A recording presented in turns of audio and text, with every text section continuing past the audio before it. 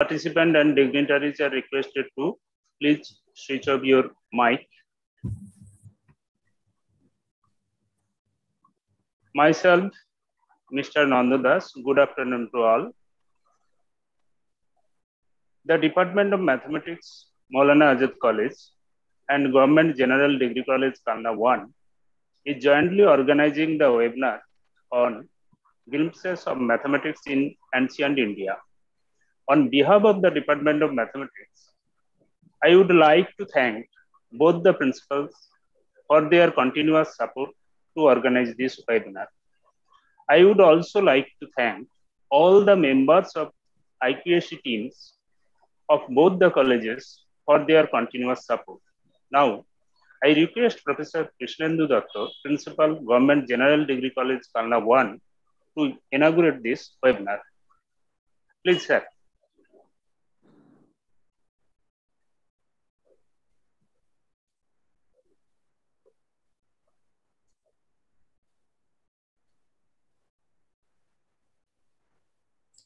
Sir আপনার মাইকটা on করুন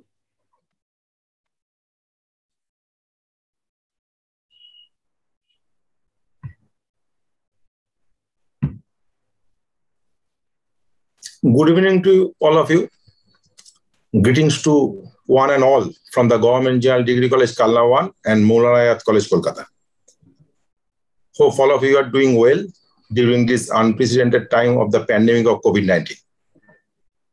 I am indeed delighted and privileged to be speaking to all of you, the students, research scholars, faculties of different institutes of higher learning across our country, and would like to congratulate you all for participating in this webinar on glimpses of mathematics in ancient India. This webinar is organized jointly by the Department of Mathematics, Maulana College, Kolkata, and the Department of Mathematics of Government General Degree College, Kalna 1.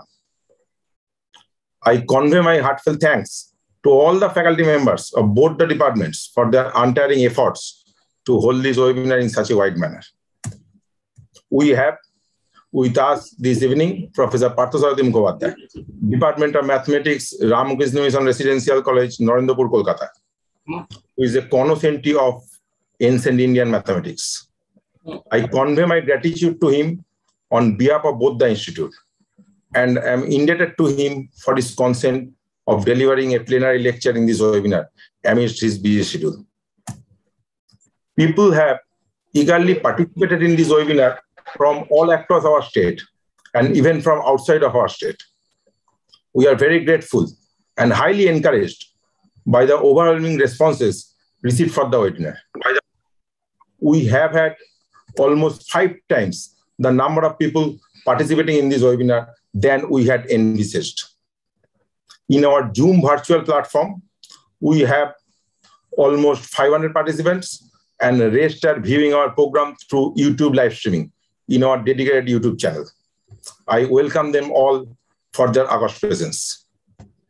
Actually, webinars are generally organized and conducted for the people to gain insight and information that would be effective in their life, exercise, and work. The topic of discussion for today's webinar unfold the mysteries of modern mathematical tools like calculus, binary system, Pascal Triangle, infinite series, and many more, which are critically cultivated and preluded in ancient India, at least 200 years before. It was formally posed by Pascal, Leibniz, and other mathematicians of Western world. I must mention the names of four great gurus of our ancient time. First, Panini, who uh-huh. gave the Ashtadhyayi, then Pingala, who gave the Chandasastra, a framework for constructing Sanskrit poems, and also the inventor of binary number system as well as the combinatorics. Then Maharshi Katyayana, who gave Vartikakara, which is a further elaboration of Panini's Ashtadhyayi. He is also a mathematician who gave the mensuration and geometrical principles in ancient India. The fourth is Maharshi Patanjali, who gave Mahabhashyam, which is an elaborate explanation of Panini's Ashtadhyayi. Patanjali is also uh, the inventor of yoga and Ayurveda. But it is very unfortunate that all these great knowledge systems, which were created in Sanskritam in ancient times, are no longer understandable by the Indians today because of the lack of competence in Sanskritam. It is an interesting fact that Madhava, the great Indian mathematician of ancient time, period the infinite series, which is the basis of calculus, at least 100 years before Leibniz and Newton, who are considered as the founder of calculus. So most of the core knowledge of science and technology were originated in India, but, but fails to get due recognition in front of the world. Let me clear one thing. I have never claimed that human intellect is a property of Indians. No, that is absolutely nonsense. My only point is that the credit should be given to those who rightfully deserve it. So lots and lots of things are there. And I believe that some of the core topics will be discussed in details in today's webinar. As uh, this is a popular lecture, and through this, we endeavor to expose the glory and futuristic outlook of our rich ancestors in the field of science and technology to the rest of the world. I ardently request participants to be all ears, and I ensure that the webinar will be interesting and fruitful to everyone present here. With these few words, I declare the opening of this webinar and wish a grand success of this. Thank you all.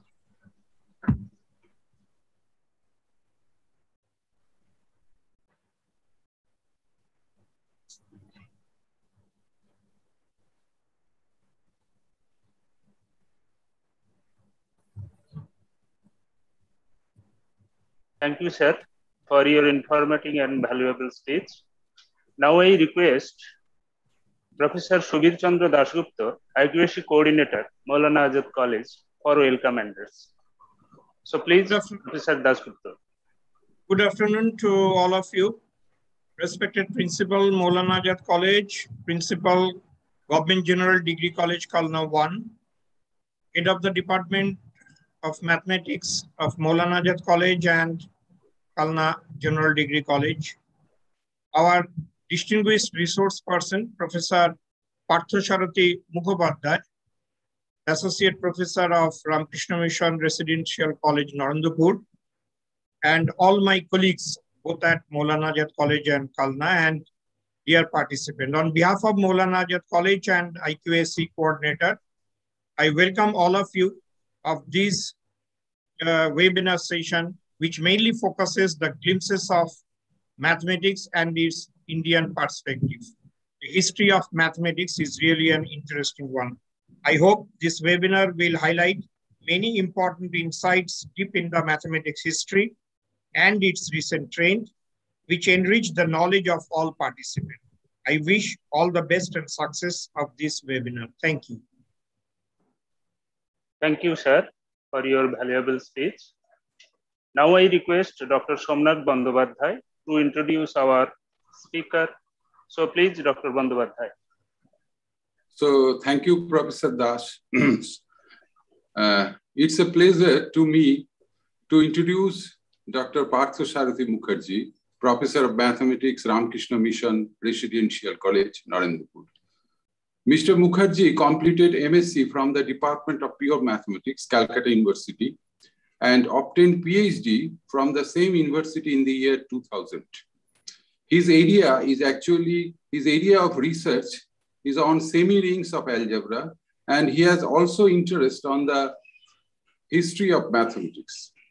He has attended and presented papers in many national and international conferences delivered invited talks within and outside India, and published 24 papers in the national and international journals, published three books of them, uh, published three books of them, Topics in Algebra, jointly with Professor Sen and Professor Ghosh, is very popular in UG level. Published several articles on mathematics, edited a book and translated book in Bengali, he has a teaching experience more than 24 years in UG level and nine years as the guest faculty, nine years as a guest faculty in postgraduate college. So it is impossible to mention his every single accomplishment because they are a lot. So today's title of the topic is Glimpses of the Mathematics in Ancient India. My dear student, so far as you know, we have a rich tradition in mathematics. Our rishis and munis gave top priority to Gonit among all Vedangas. In this context, I like to mention a sloka, Jada Shikha Mauranang Naganang Munang Tatha Tathavad Vedanga Shastranam Gunitam Murthanistitam. It means as the peak, as, a, as the beautiful feather on the head of a peacock, as the diamond on the head of a snake, mathematics science on the top of all sastras. So well, now I am inviting my friend, Dr. Partha Mukherjee. So please, Mukherjee.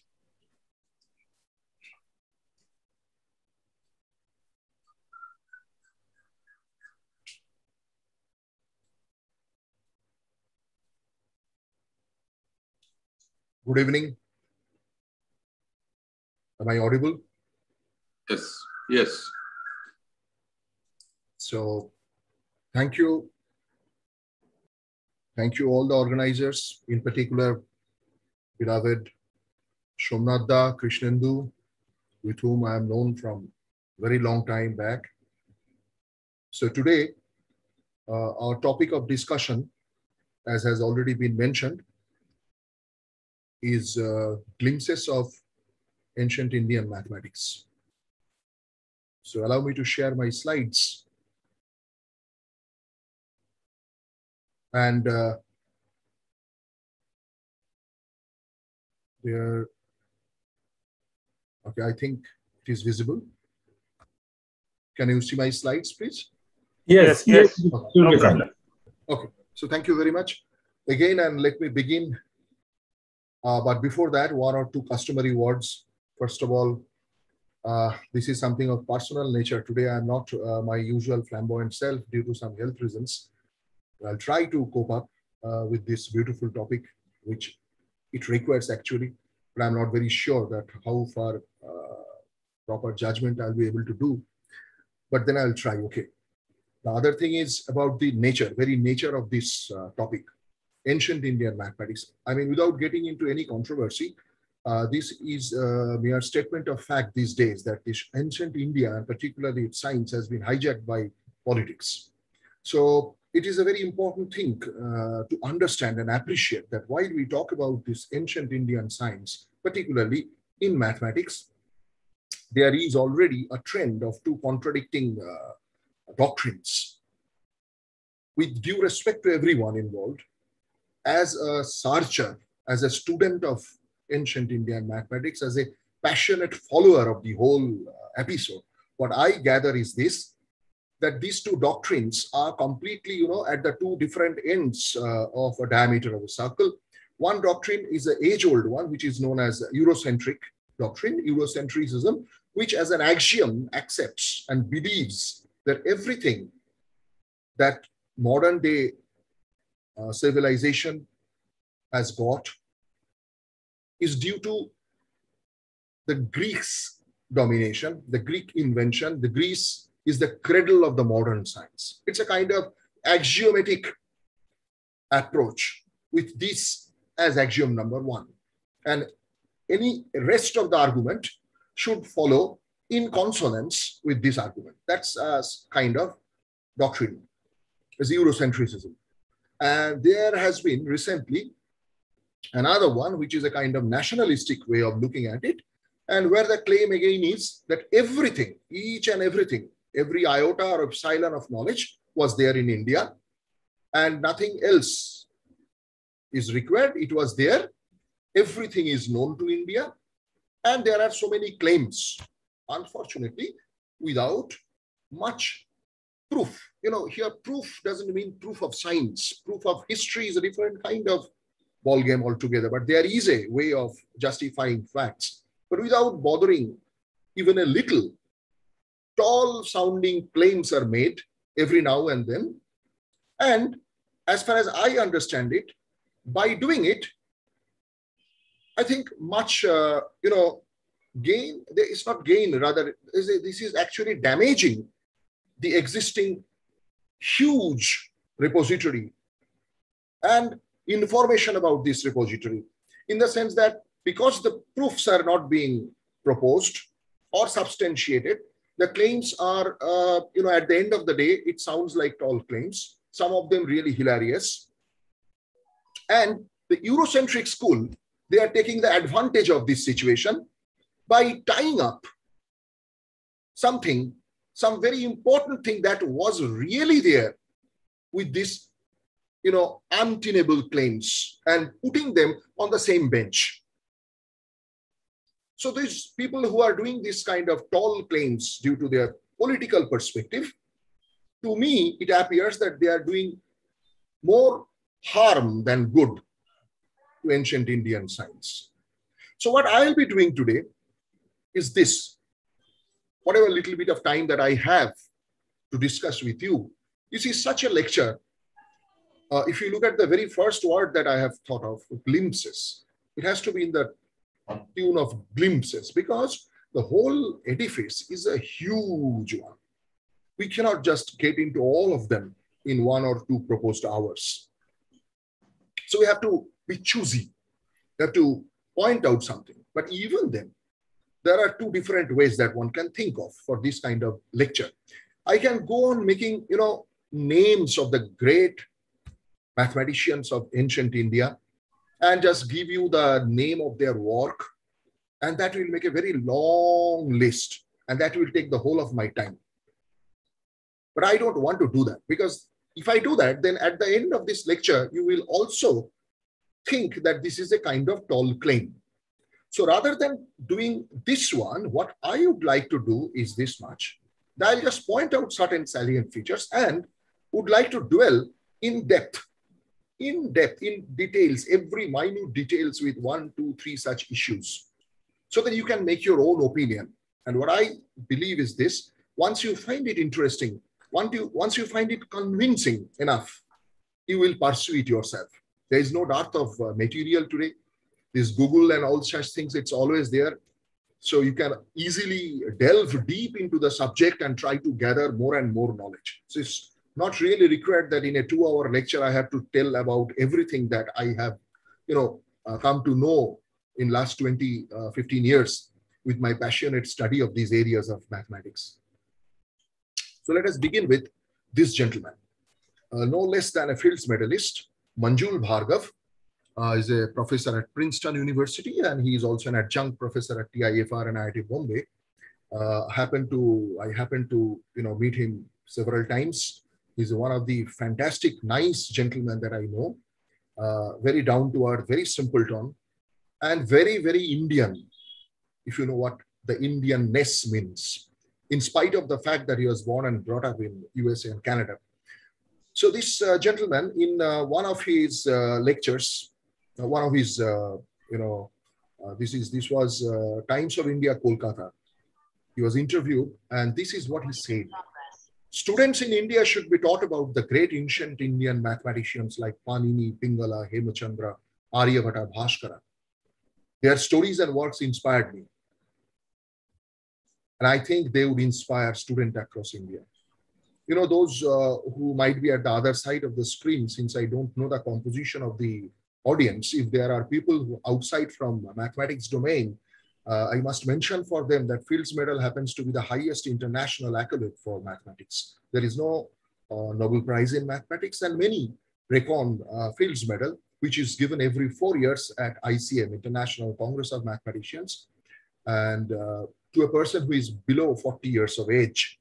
So this is coming from a person who happens to be at the highest echelon, not of history of mathematics, but of mathematics per se, and these words are coming out of him.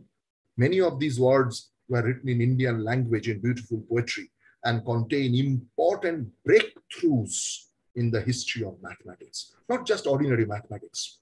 What Manjul says and what, what Manjul believes that these work contain important breakthroughs coming from a Fields medalist, my friend.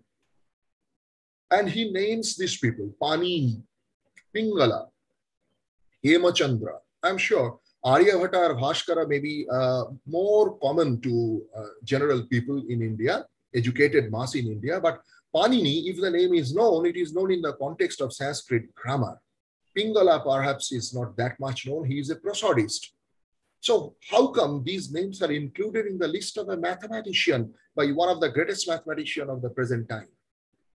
So this is what we would like to explore a little bit to see what kind of work these people have done, why they are being, uh, you know, put in a same uh, uh, row of names with uh, other mathematicians like Aryabhata and Bhaskara. Here Bhaskara, of course, means Bhaskara II, the Bhaskaracharya. And uh, in another such interview, he was asked to talk about five most, uh, you know, influential book in his life. And this was his list. Shulva Sutra by Bodhayana.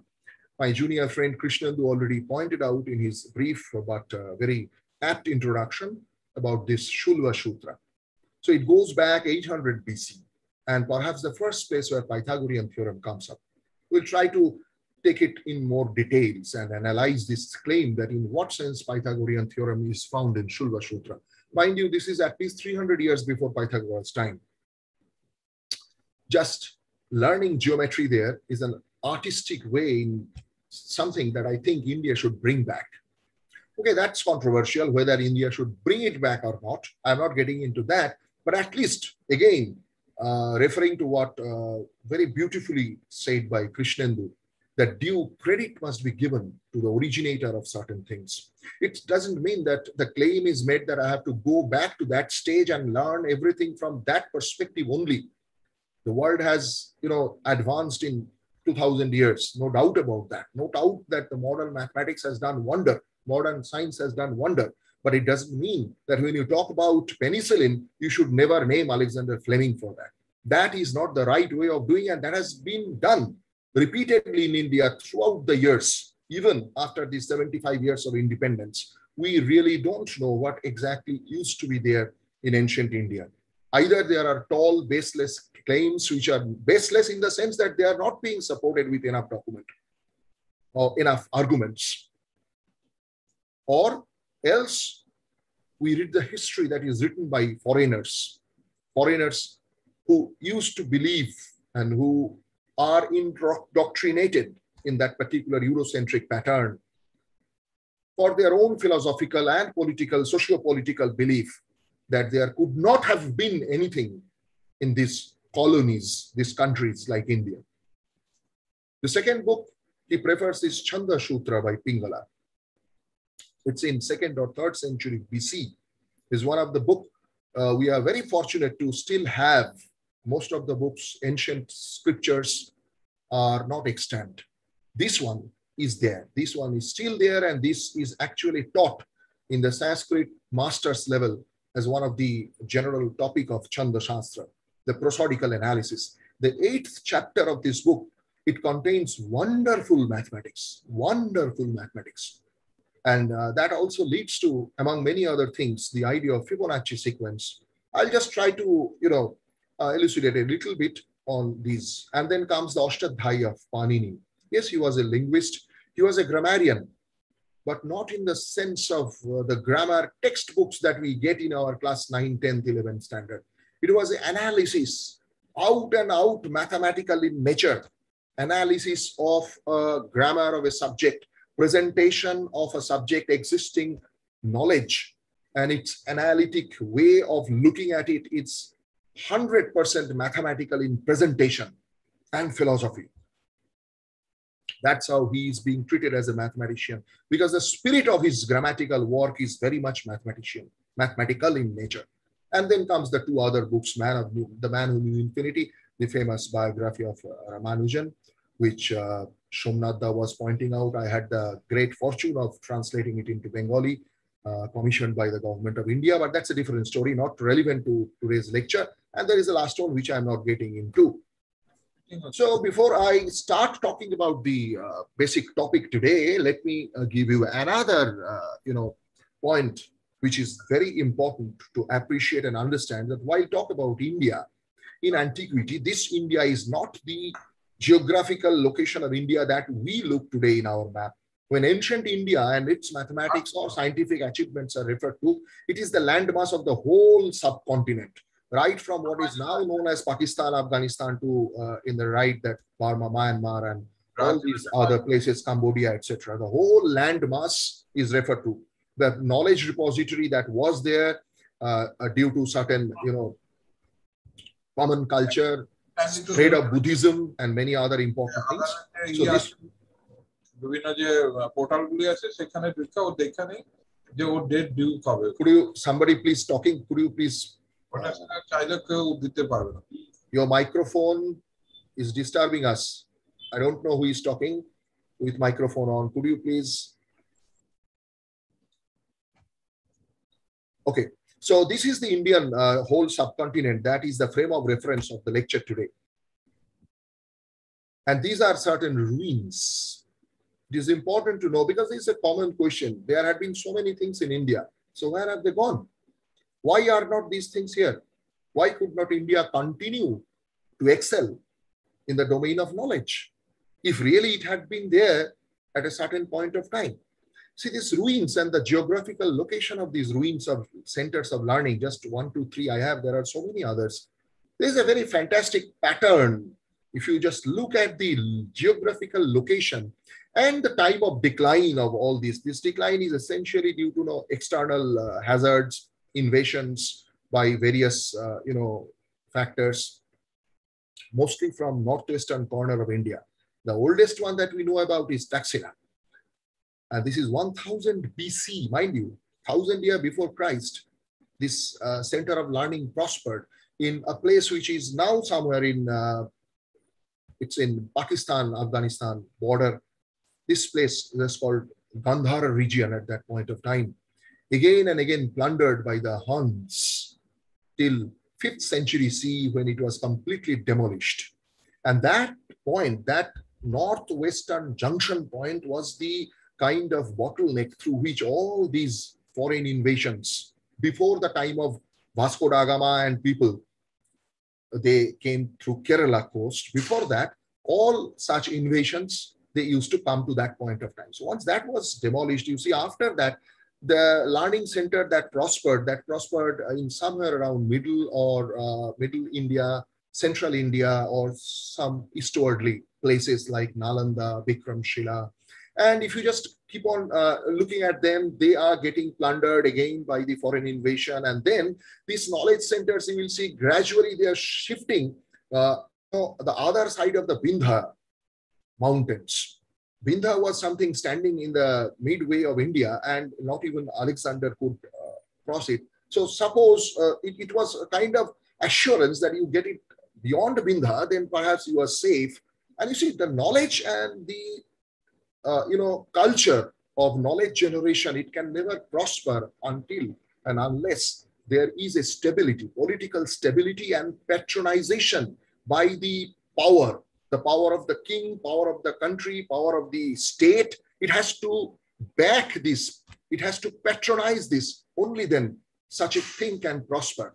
So, whenever there is a turmoil, whenever there is plundering by this kind of foreign invasion of a different dimension, and these are all well known facts in case of India, these were all actually destroyed and things they went the other side of Vindhyas and it started prospering in Kerala.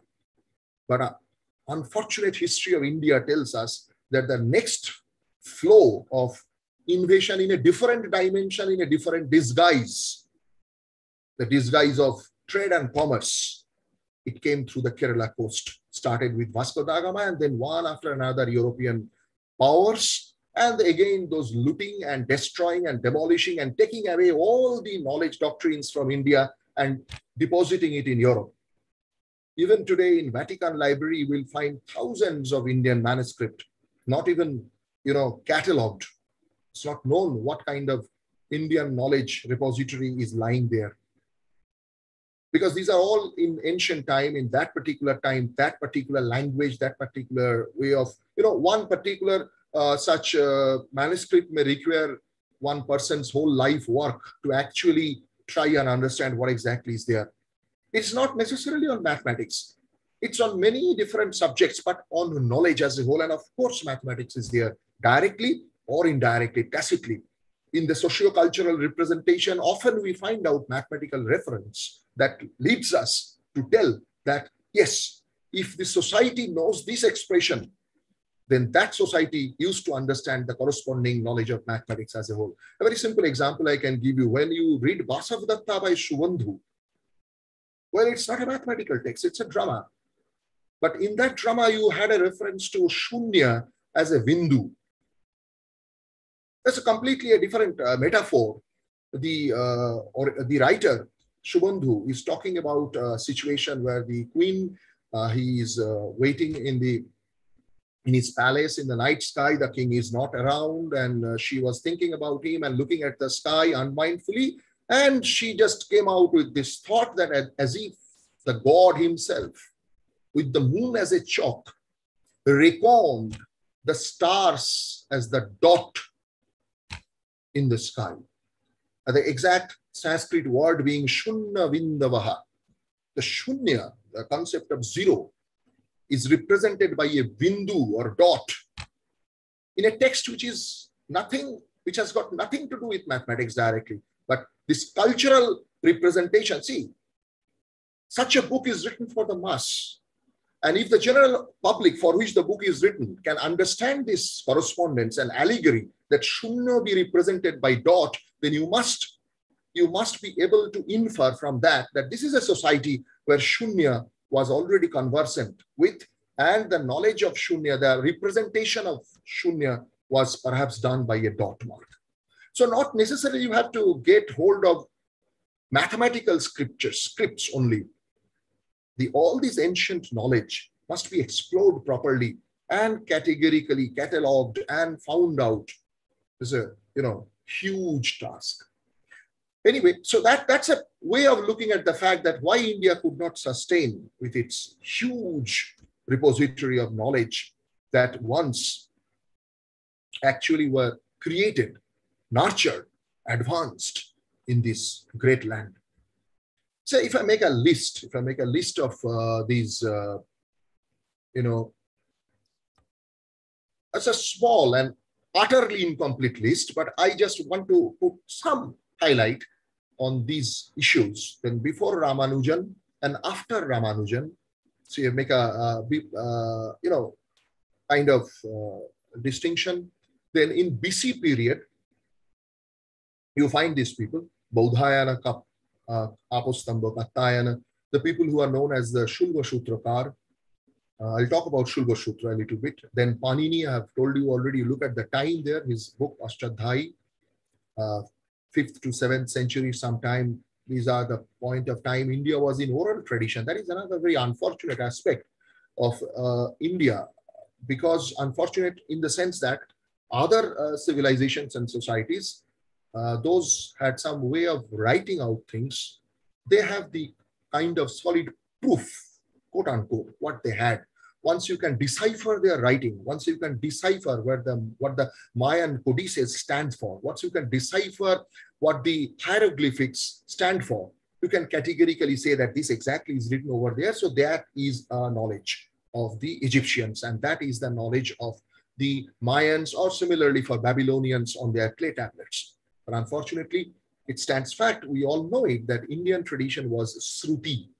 And uh, from uh, the Guru to Shishya, it was you know transmitted oral oral tradition so much later india started writing and that is where that is exactly where there is a scope of you know uh, raising one's finger when they are not very convinced about what india achieved in the time period of Sruti, there's a common way of you know pointing out that okay, these are all later editions. These were not there at that point of time. The people who started writing them, they have actually have invented some of the thing themselves and put it against the name of the ancient seers. That is the tradition. There is one way of looking at it. There are people who look at it. Uh, this is one way of, you know, uh, academic controversy regarding the state of affairs. But that's unfortunate state of affairs is there because of this, uh, you know, Sruti uh, kind of the oral tradition kind of past in India. And then comes the idea of Bakhshali manuscript, one of the, you know, earliest known mathematical document of India, written document of India. Uh, the, even the time period of that is very hotly debated nowadays. There are so many uh, questions of interrogation marks that I have given there. As you can see, third or seventh or ninth, uh, different pages of Bakshali has been recently, uh, you know, uh, put under the C14 carbon dating test uh, for the time for assessing its time period by the Bodleian Library of Oxford, and the outcomes are uh, quite, you know, amazing. there may be, you know, again, immediately the Eurocentric scholars, big names, big names, by telling Eurocentric, I am not by an iota undermining their achievement. They are all big scholars. But the fact remains that they look at the thing through one particular kind of specs. And they have immediately jumped upon the conclusion telling that it's historically untenable. And there are other school of uh, people, other school of thoughts, uh, scholars who are trying to assess and understand that how this different uh, time period of a single document is possible. It's different pages written at different point of time. Maybe it's a replacement, letter replacement by, you know, kind of, you know, it was being, uh, maybe it was being uh, withered away. So some someone else, some letter scribe was assigned to copy one particular page of that. This is, after all, a birch bark document, right? And it's absolutely mutilated, now kept in uh, Oxford Bodleian Library. Uh, uh, found in a place called Bakshali, which is now in uh, Pakistan, 80 uh, odd kilometers away from Peshawar, a place which is quite close to that ancient seat of learning, Takshila. So uh, I'll come to that if time permits. Then you have these big names that you know, Aryabhata, Bhaskara, Brahmagupta, and word of caution there, he's, this gentleman is Aryabhata, not Aryabhatta. Vatta is a complete different thing if you go by the uh, you know name, the reason of Vatta and Vata, there's different clans. His book is Aryabhatiya. So as a great Aryabhata, and then Bhaskara one, the commentator of Aryabhata, Brahmagupta, the great mathematician, one of the greatest. Even in Manjul Bhargav's lecture on its Fields Medal, he refers to mathematics of Brahmagupta. He proudly says that what I am doing today has begun at the time of Brahmagupta. Gauss generalized it, and then I am doing further work on it. I myself have heard that lecture.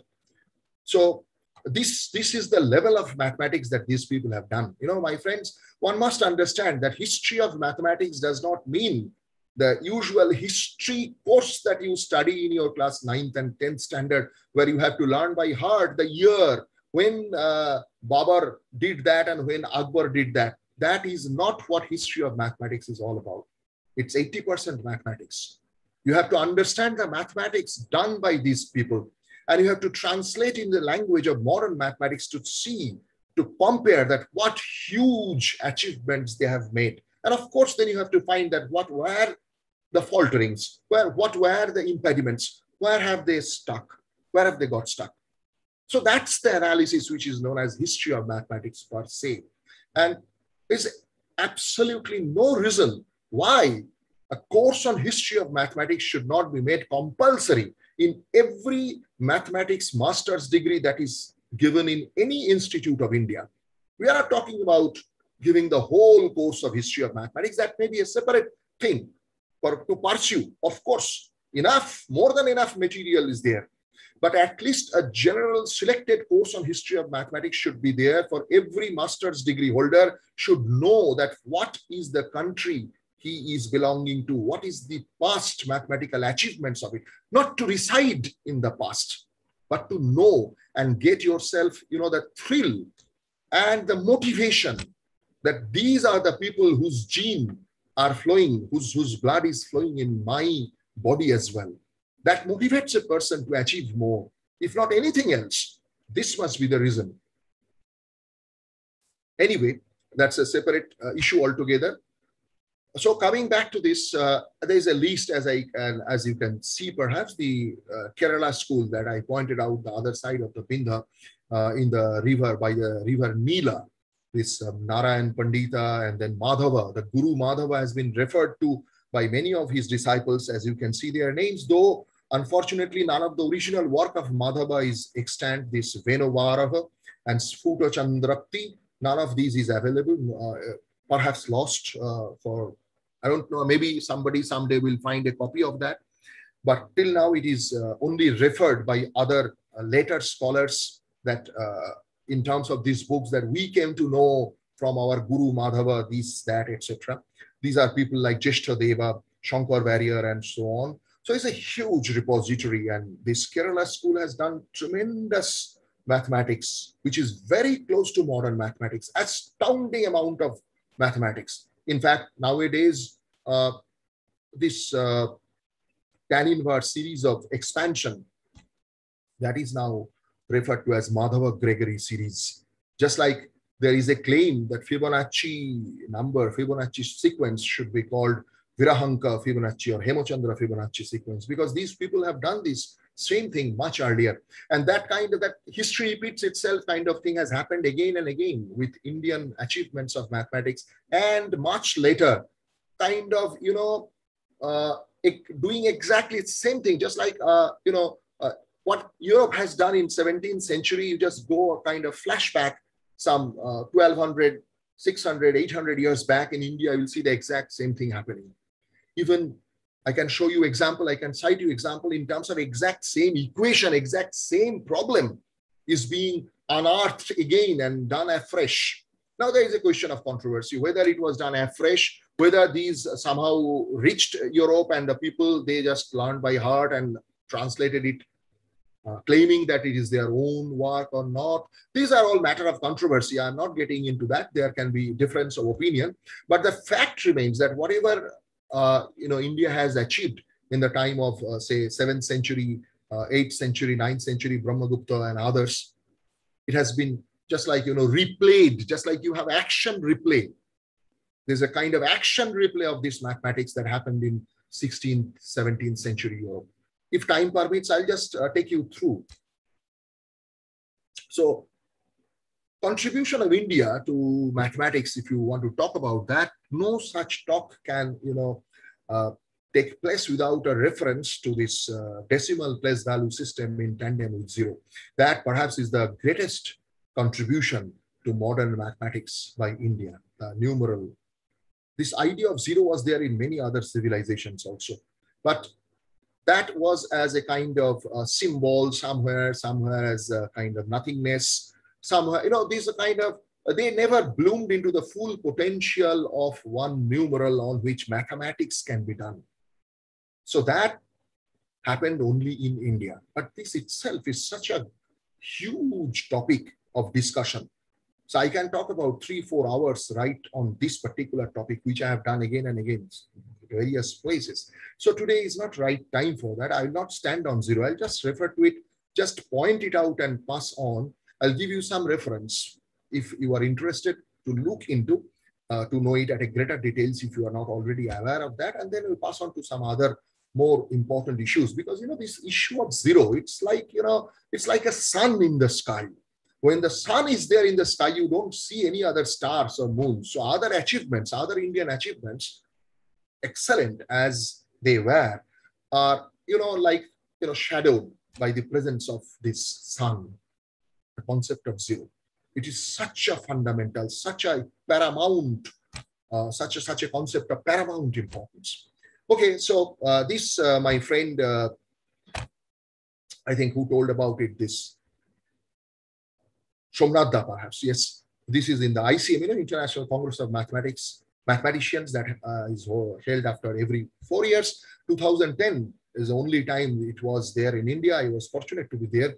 And this is one of the official poster where this particular sloka from Vedanga Jyotish, Vedanga, you know, Veda has six limbs, Shiksha, Kalpa, Vyakarana, Nirukta, Chanda, and Jyotish, of which Chanda is the one which is mathematically important, as I have already pointed out about the Pingala's Chanda Sutra. The other one is Jyotisha. Now, this Jyotisha does not mean the, you know, uh, the astrology. This Jyotish refers to astronomy, the time calculation, calendrics, and uh, this Vedanga Jyotish has this particular fantastic reference to mathematics that has already been pointed out by Somnadda. I'm not getting into that any further. And before I proceed further, I would like to, you know, talking about so many serious things. So I'd like to share with you this uh, interesting uh, anecdote. This is a kind of joke that I got in. Actually, my, my elder daughter supplied me with this particular joke from Facebook.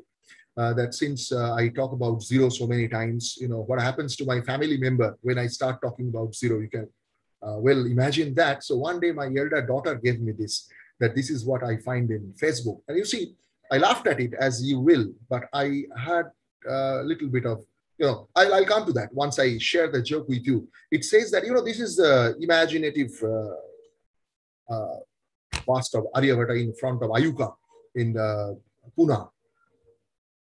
It's a popular joke in social media. It uh, uh, shares like this here. It says, uh, one day Aryabhata asked his wife, will you allow me to spend the night out with my friends? And the wife says, according to your calculation, you know, you are a great mathematician, so you can calculate yourself. What is the probability of my giving consent to this? And uh, it is then Aryabhata invented zero. So I don't know what you are. Maybe you are also smiling or laughing. Uh, when I uh, used to present this in front of an audience that I can see, people used to burst in laughter. Uh, but then uh, I find it's really pity that uh, people even make a joke out of something which is uh, out, out and out wrong information. Aryabhata never invented zero. Aryabhata used zero. But uh, at least 700 years before Aryabhata, I can show you precise and to the point reference of uh, zero as a numeral, as a number in Pingala Chanda Sutra. In the eighth chapter, the four uh, sutras that are there uh, leading to a combinatorial algorithm, there's specific reference to Rupe Shunyam and Di Shunne and these shunna referred to there happens to be clear-cut mathematical zero. Of course, again, in terms of language, we don't know what exactly these shunna used to look like. How do they used to write this shunya? That we don't know. But that this zero is a mathematical zero is quite clear and quite uh, appreciable because the whole calculation by these four sutras, of which two I have uttered, is a mathematical calculation pertaining to a combinatorial, combinatorial one. So if time permits, maybe I'll come to that later on. So this is this is the state of you know unfortunate and sorry state of affair as far as I understand it. That we make a we got a joke, but even that joke stands on a wrong historical information, uh, information that is wrong, not just a European's perspective, but the perspective of an Indian. We Indians should at least know what is there in India, what was there in India categorically. Of course, it is a free world. It's a free world of academics. You have your own way. You have every right to make your observations, to protest to something, to write your, uh, you know, you, you have your own point of view, which is contradictory to others. That is all welcome. But you should not suppress facts. The facts should be there. And then you are welcome to come and contradict the fact, to have an alternative alternative proposal, have an alternative way of looking at it, that's most welcome. People are ready to, you know, discuss always. That, that's, that's the beauty of the academic fraternity. But you should not suppress fact to establish your claims, the claims that has already been sort of pre-decided, your biased position out of your socio-economic or political need, the biased position that actually motivates you to make some claim and to fulfill this, to accomplish this aspiration, you are suppressing certain things or distorting certain things. That is not acceptable. Well, many things this gentleman Aryabhata did, but he didn't invent zero. His beautiful work involving the square root and cube root calculations it's impossible without a solid understanding of zero, what he did in his own way. It's Patapayadi system. Again, that is something very technical and I'll take hours if I want to get into that in details. But I just, because I named Aryabhata, I just uh, will stand on one particular sloka from Aryabhata You're telling you that what level of intellect these people had. You see, this is the time when, uh, you know, the fire altars were of tremendous importance to the society they used to believe that you can attain certain spiritual goals by uh, giving uh, kind of, you know, this uh, yaga and other things. And the shape of these altars were very important.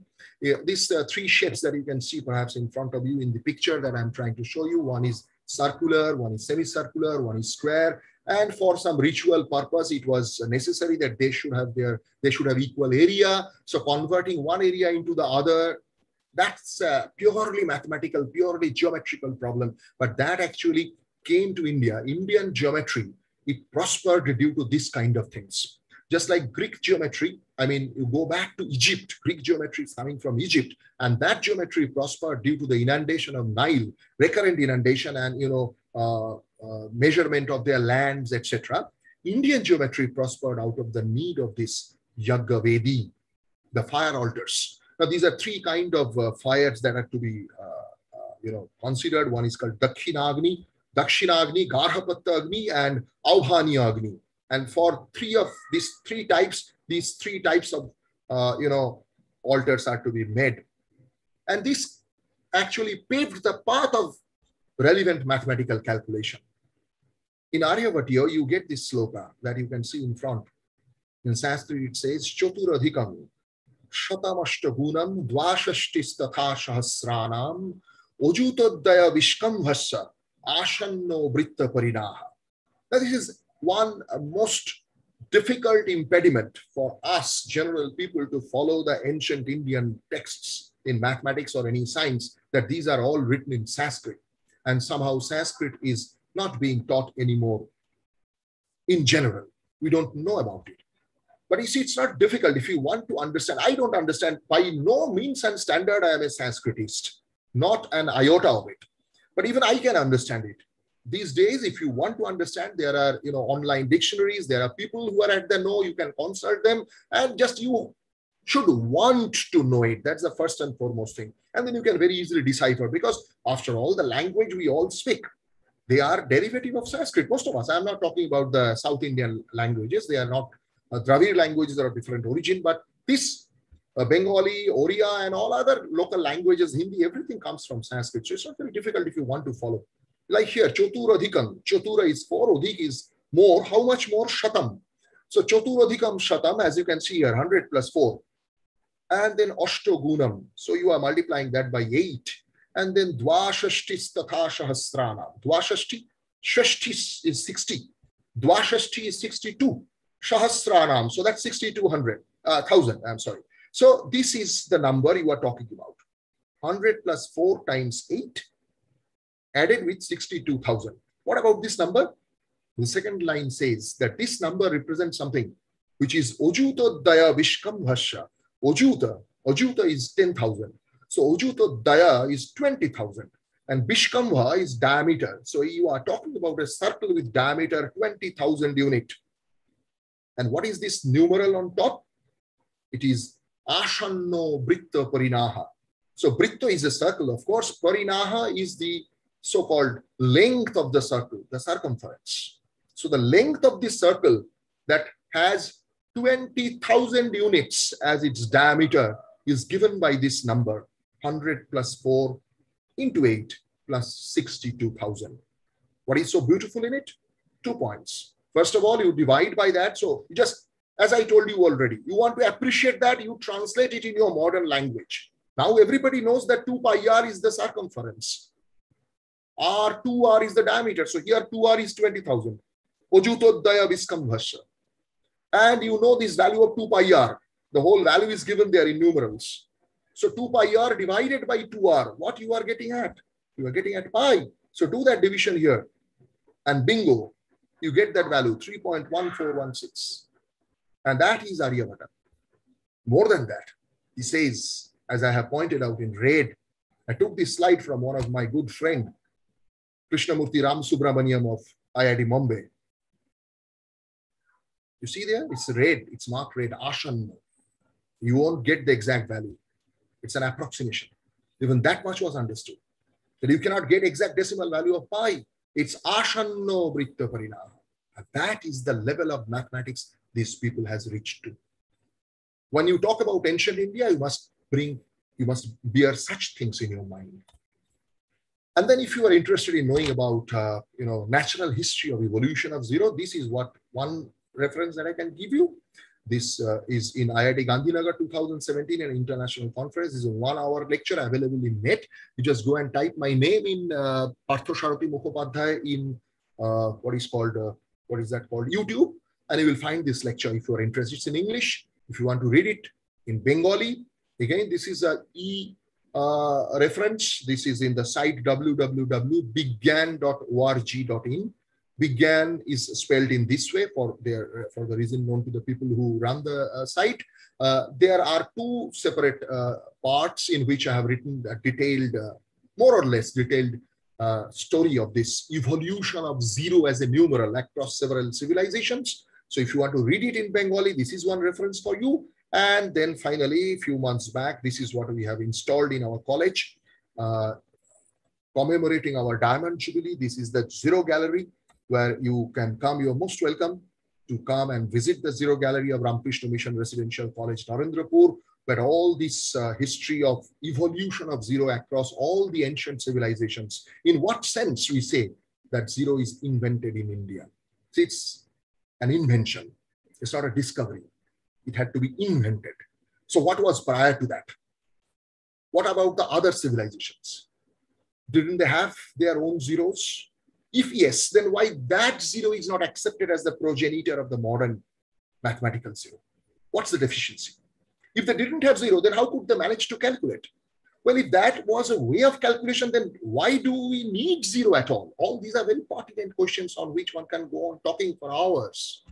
And this gallery showcasing, it's, a trying, it's trying to showcase the whole story on which we are right now making a, a half an hour documentary which will be available, I believe, by the end of this month in YouTube that will focus the purpose of uh, this gallery. But you are most welcome to come and visit this gallery physically. Due to pandemic time, unfortunately, everything is stalled. So is the gallery. It was inaugurated 6th of March this year by the director of Indian Statistical Institute, Professor Sanghamitra Bandyopadhyay, and also by accompanied by Professor Ashish Chatterjee, the uh, Vice Chancellor of Calcutta University, ProVC Academic, but unfortunately died from that day onward. This is generally put under lock and key because of the pandemic situation. But uh, let us expect that pandemic will be over now or sooner or later. And then uh, I extend, allow me to extend my, uh, you know, heartiest welcome to all of you to come and visit this gallery. And there are these two books also. If you are interested, these are actually supplementary materials to this gallery telling you the story of zero. So they are, they are available in Amazon. If you are interested, you can try to grab and go through it. That will give you a taste of what zero is all about. Coming to the Shulva Sutras. Shulva means Rajju, knotted strings by which these measurements were done. There's a culture of ancient India going back at least 800 BCE, if not earlier. And these are the people, Bodhayana, Manava, Apastamba, Katyayana. These are the people whose names are related with Shulva Sutras. These are kind of manual sutras. Sutra is a kind of text aphorism. It's very cryptic in nature. It's not to be elaborated because you remember this is oral tradition. It has to be short. If you look at the definition, Vishnu Dharmottara Purana, it says that Alpaksharam, the first word, the first word of the definition of Sutra is Alpaksharam. Must be very concise. Alpa Akshara. Ashandigdham. You cannot just have uh, some queries or question mark that maybe this, maybe that. What is the interpretation? I don't understand. No, that is not a Sutra. Alpaksharam, Ashandigdham, Sharavat, gist, Vishyato Mukham, universal. It has to be applicable everywhere and not some specific cases. Then it's not a Sutra. So look at the idea of theorem. Alpaksharam, Ashandigdham, Sharavat, Vishyato Mukham, Ostobham. There should not be any meaningless phrase. You know, there is no scope of, you know, literal or poetic flair, making things sounding better. No, make it sharp and small, as small as you can, because you have to remember it and pass it on to the next generation. Ostobham, cha as unique. There cannot be two different way of expressing the same. But that, these are the parameters with which you define a sutra. So these are Shulva Sutras, cryptic. You have to understand the meaning of that. You can't ask, well, nothing else is told. Yes, it was told. It was told by the gurus to their shishyas. You have to understand from the perspective. Have to look at the application of the sutras And don't ever claim that this is not being proved. These Shulva Sutrakars, they are not writing books for you.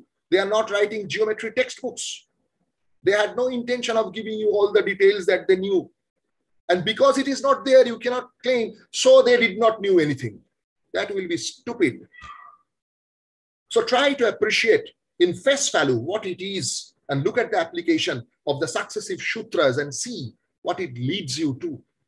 So these are kind of, you know, fire altars. One uh, particular one uh, you can see here, even till date, South India, where uh, dogmatic people still believe in the Vedic tradition, uh, they still adhere to this kind of thing. It's called Shyena Chiti. Shyena is a falcon. As you can see, this measurement of exact measurement and exact shapes of the bricks and the numbers, etc., were absolutely important to making of this. And those people, again, see, I am not preaching that this is something you must do from tomorrow onwards. No, I don't believe in these things myself. Let that be very clear. What I am interested is this, that these people at that point of time believed that these constructions, the perfection of this construction was of paramount importance for achieving their goal because they believed that only this perfect construction of an altar on which you sit and give your offering, then this goal will be achieved. Had it not been so, has it been some kind of casual, then this would never have prospered to these finest details.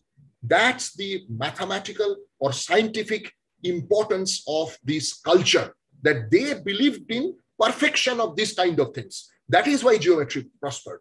That's my point. Not that from tomorrow onwards, you should try to mimic all such things. That's your business. That's absolutely your business. If you think you should mimic, you are most welcome. I at least have no objection to it. But don't ask me to mimic that because I don't like that. That's perfectly legitimate and okay. It's not a kind of dogma. But you want to know what is what, then you must know it from the perspective. Why did it prosper? Why suddenly Shulva Sutras become important? Because of this, so many constructions had to be done. And this required in-depth knowledge of geometry, much earlier than Euclid. Euclid is 3rd century BC, Pythagoras 5th, 5th century BC. This at least 8th century BC to begin with. Even before that, we don't know. Are they just something age old and nobody is bothering about it? No, no, no. Nobody perhaps is bothering about it in India. We don't bother. Europeans bother, bother. Americans bother. They talk about Indology. They look at this civilization as an ancient, great civilization, a repository of ancient knowledge, many of, many of which are still not known, have been still unearthed. But we look at them with a kind of, you know, highbrow. There's nothing there, absolute nonsense. This is a book written in 2016, a full-scale book by a French historian of mathematics, an expert on Shulva Sutra, as you can see the name, Jean-Michel Jean Delire. Les mathématiques de l'autel védique, le Bodhayana Shulva Sutra et son commentaire Shulva Dipika. Bodhayana Shulva Sutra and its commentary Shulva Dipika. And there is one gentleman, Michel Danino, who is in IIT Gandhinagar. He's an adjunct professor there and uh, a recipient of Padma Shri, one of the foremost historians of mathematics, particularly ancient in ancient Indian mathematics. Michel reviewed the book in 2018, and this is the language from his review. In a long discussion on the so-called Pythagorean theorem, which Bodhayana expressed, which Bodhayana expressed uh, differently as the property of a diagonal of a rectangle rather than hypotenuse of a right angle triangle, both with specific dimension and in general formulation, Delire makes a praiseworthy attempt to grasp the Shulva Sutras on their own term rather than through the prism of other Greek or modern approach. That's most important. Rather than through the prism of others, look at it as it is, try to appreciate and understand what it means. And what do I see here? This is the particular sutra under consideration. Dirgha chaturasakshanaaya rajju parshvamani tirjangmani cha jat prithak bhute kuruta samubhayam karati. What does it mean? Let us try to decipher because it's Sanskrit. I know most of you are not conversant. So let us just try to break it up. Dirgha Chaturasra. You know, Chaturasra is a quadrilateral.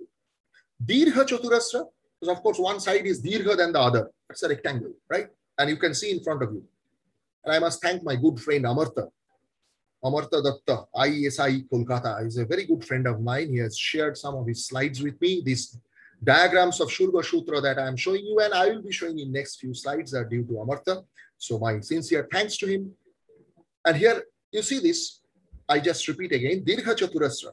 So that's a rectangle that is being referred to. And in modern notation, I name it ABCD, as you can see in front of you. Akshanaya Rajju. So Akshanaya Rajju is the diagonal. It means diagonal. So you can see the diagonal BD. Now look at the word Parshomani and Tirjangmani. So Parsho is side. Very simple. Parsho. Tirjangmani, that's the lateral side. Tirjak. So lateral side means, so basically you're talking about length and breadth. The way we usually name the sides of a rectangle. So Parshomani and Tirjangmani, chat prithakabhute kuruta. So separately, whatever they do, these two sides, AB and AD. The Akshanaya alone, Tamu Bhayankaroti. It does what they two separately does, this Akshanaya Rajju alone does the same thing. That's the rule. Now you say that it's Pythagorean theorem. And of course, the first uh, objection is, well, it is not telling at all what they are supposed to do. It says that they uh, do something. Kuruta. What they do? They prithakbhute kuruta samubhayam karoti. It does the same, but does what? Well, it's not there. It's not there. Then why should you accept it as a Pythagorean theorem? Why should you accept that it is actually telling that the square on AB plus square on AD is equal to square on BD? We won't accept it. No problem. This is Sutra 48. Now go to Sutra 49. The very next one in the same book, same text. Bodhayana Shulva Sutra number 50. What does it tell? It's an application of the previous sutra. And now you see what it is applying, what it is doing. It says, Nana Chaturasre Shamashan Karaniya uh, Kaniyasa Karanya Borshiyasha Bridhram Ullikhet Bridhrasha Akshanayaraju Shamastayo Parshomani Bhavati. So again, let us try to analyze the words and try to make sense out of it. If you want to go by English, the interpretation is written there. But I would like you to take word by word through the meaning. Otherwise, you may think, oh, that's what you are claiming. Who knows the meaning? So try word by word. Nana Chaturasre. Chaturasra, we already know. I mean, as a quadrilateral. So these are two the shamosha, the problem, is nana chaturasre, shamoshan. The problem is to amalgamate two different squares into one. Not by mensuration, by pure geometry. You are given two different squares.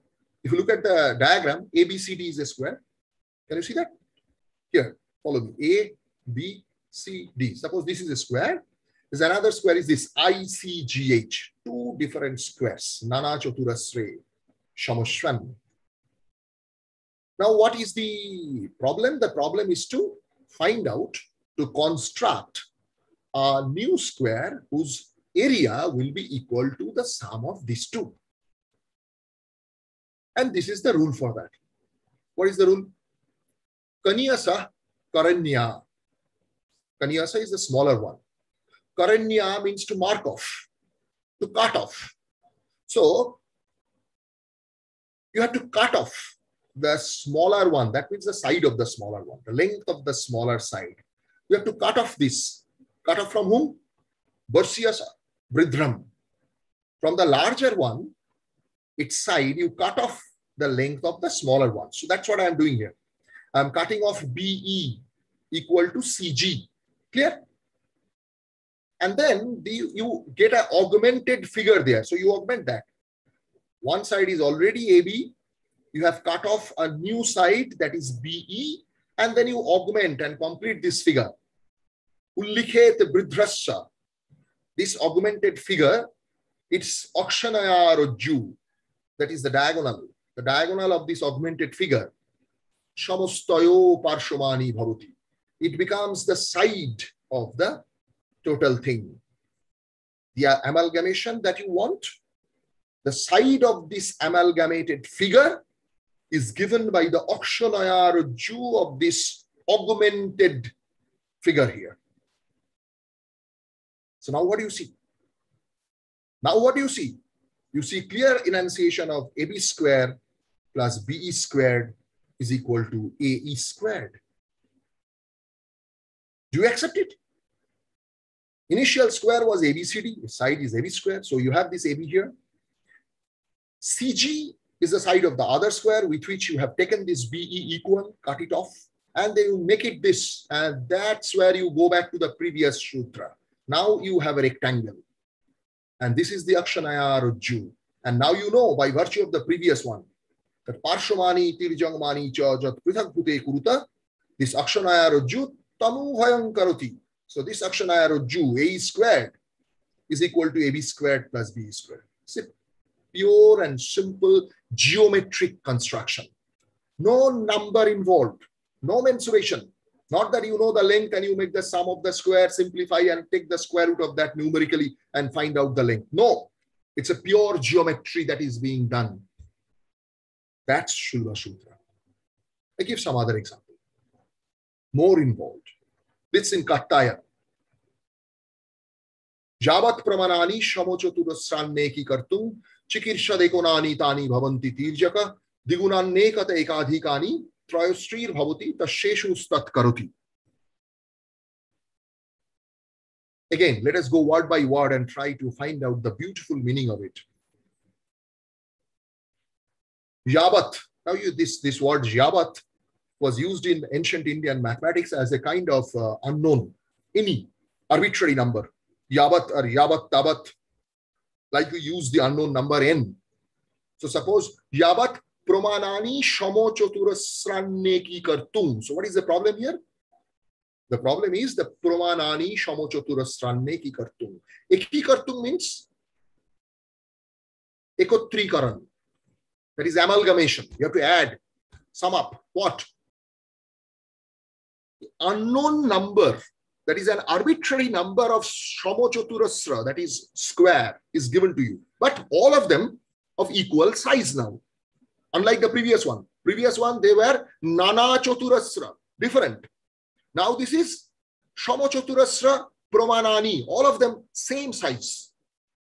So you have some, for our understanding in the modern language, suppose you have n number of squares, each with side length A. So what is, you, what is the problem? What do you want to do? You want to amalgamate all of them and make one single large square. The question is, what will be the side of that? You have to solve it geometrically. If you go by the modern understanding of mensuration, it is absolutely simple. Total area is n times a squared. So the required length that you would like to have is root over n into a. As simple as that. But here, the problem for this Katyayan was to get hold of this exactly by geometry. And you see, that's very important. Only geometry can get hold of the exact length. You go by numerals, the length become irrational.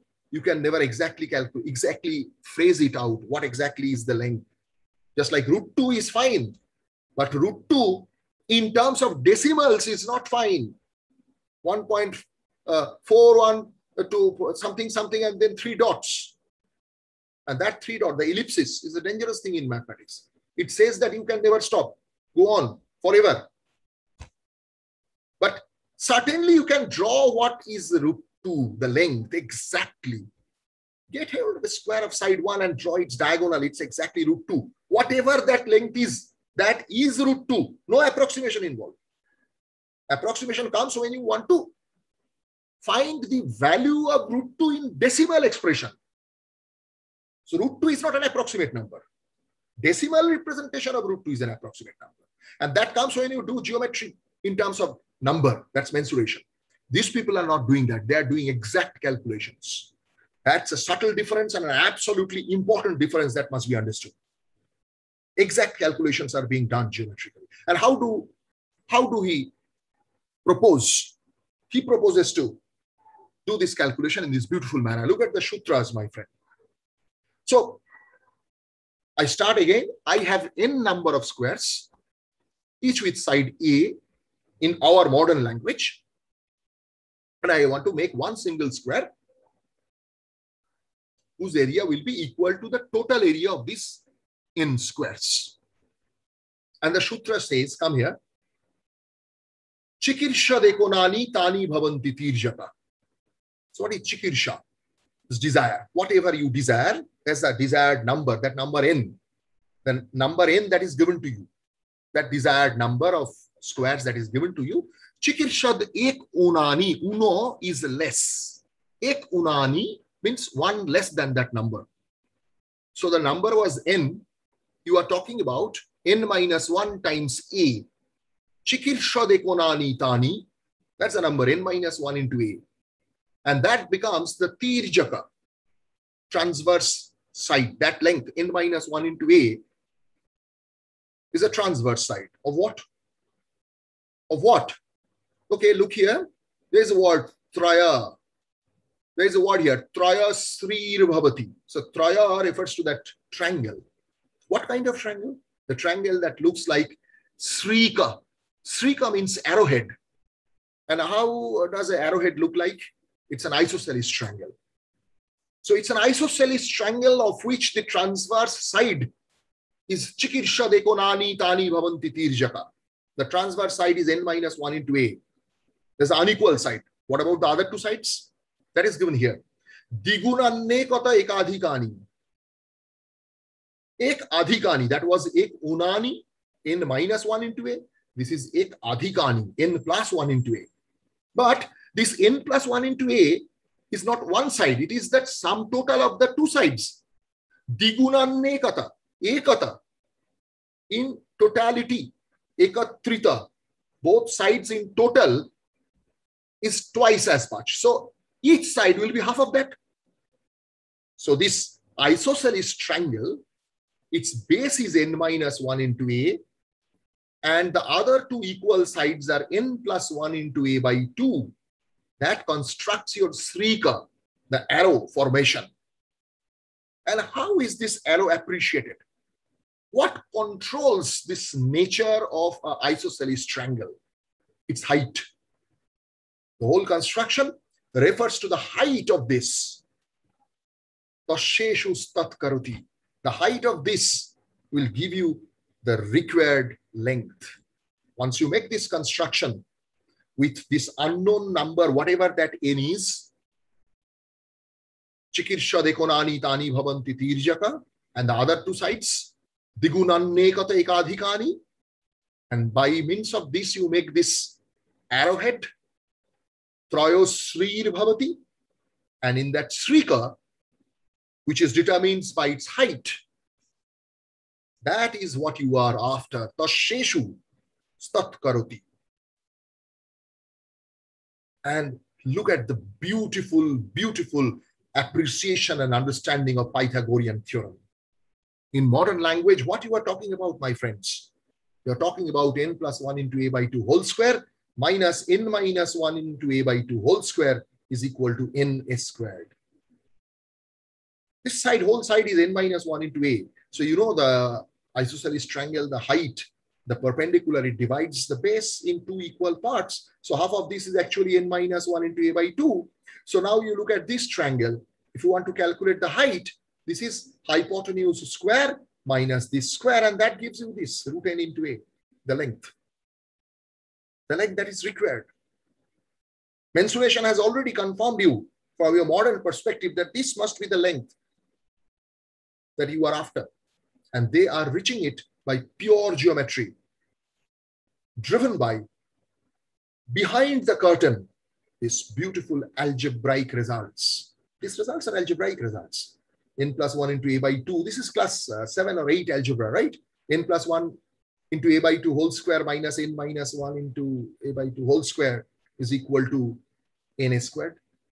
They didn't do it algebra. They didn't do this symbolism. They didn't talk about the formula. But the geometry is actually driven, perhaps at their level unknowingly, behind the curtain, but driven by the algebraic spirit. Look at one more before I switch over to some other topic. This is the construction of a square equal in area to a given rectangle. This is the construction of a square equal in area to a given rectangle, right? I think everybody here has done this at some point of time in school days, right? It is still taught in class 9 or 10. In my days, it was a very common question of Madhyamik exam to construct a square equal in area to a given rectangle. And this is what has been done by Bodhayan. That's Sutra number 54. We talked about 49, 50. This is 54. And before I get into the details of the Sutra, just read these three, four lines that this gentleman, Seidenberg, who was a historian of uh, mathematics, and this is the famous book of 1978, The Origin of Mathematics. And Seidenberg says, this is entirely in the spirit of the elements of Euclid, book two. Indeed, I would say it's more in the spirit of book two than book two itself.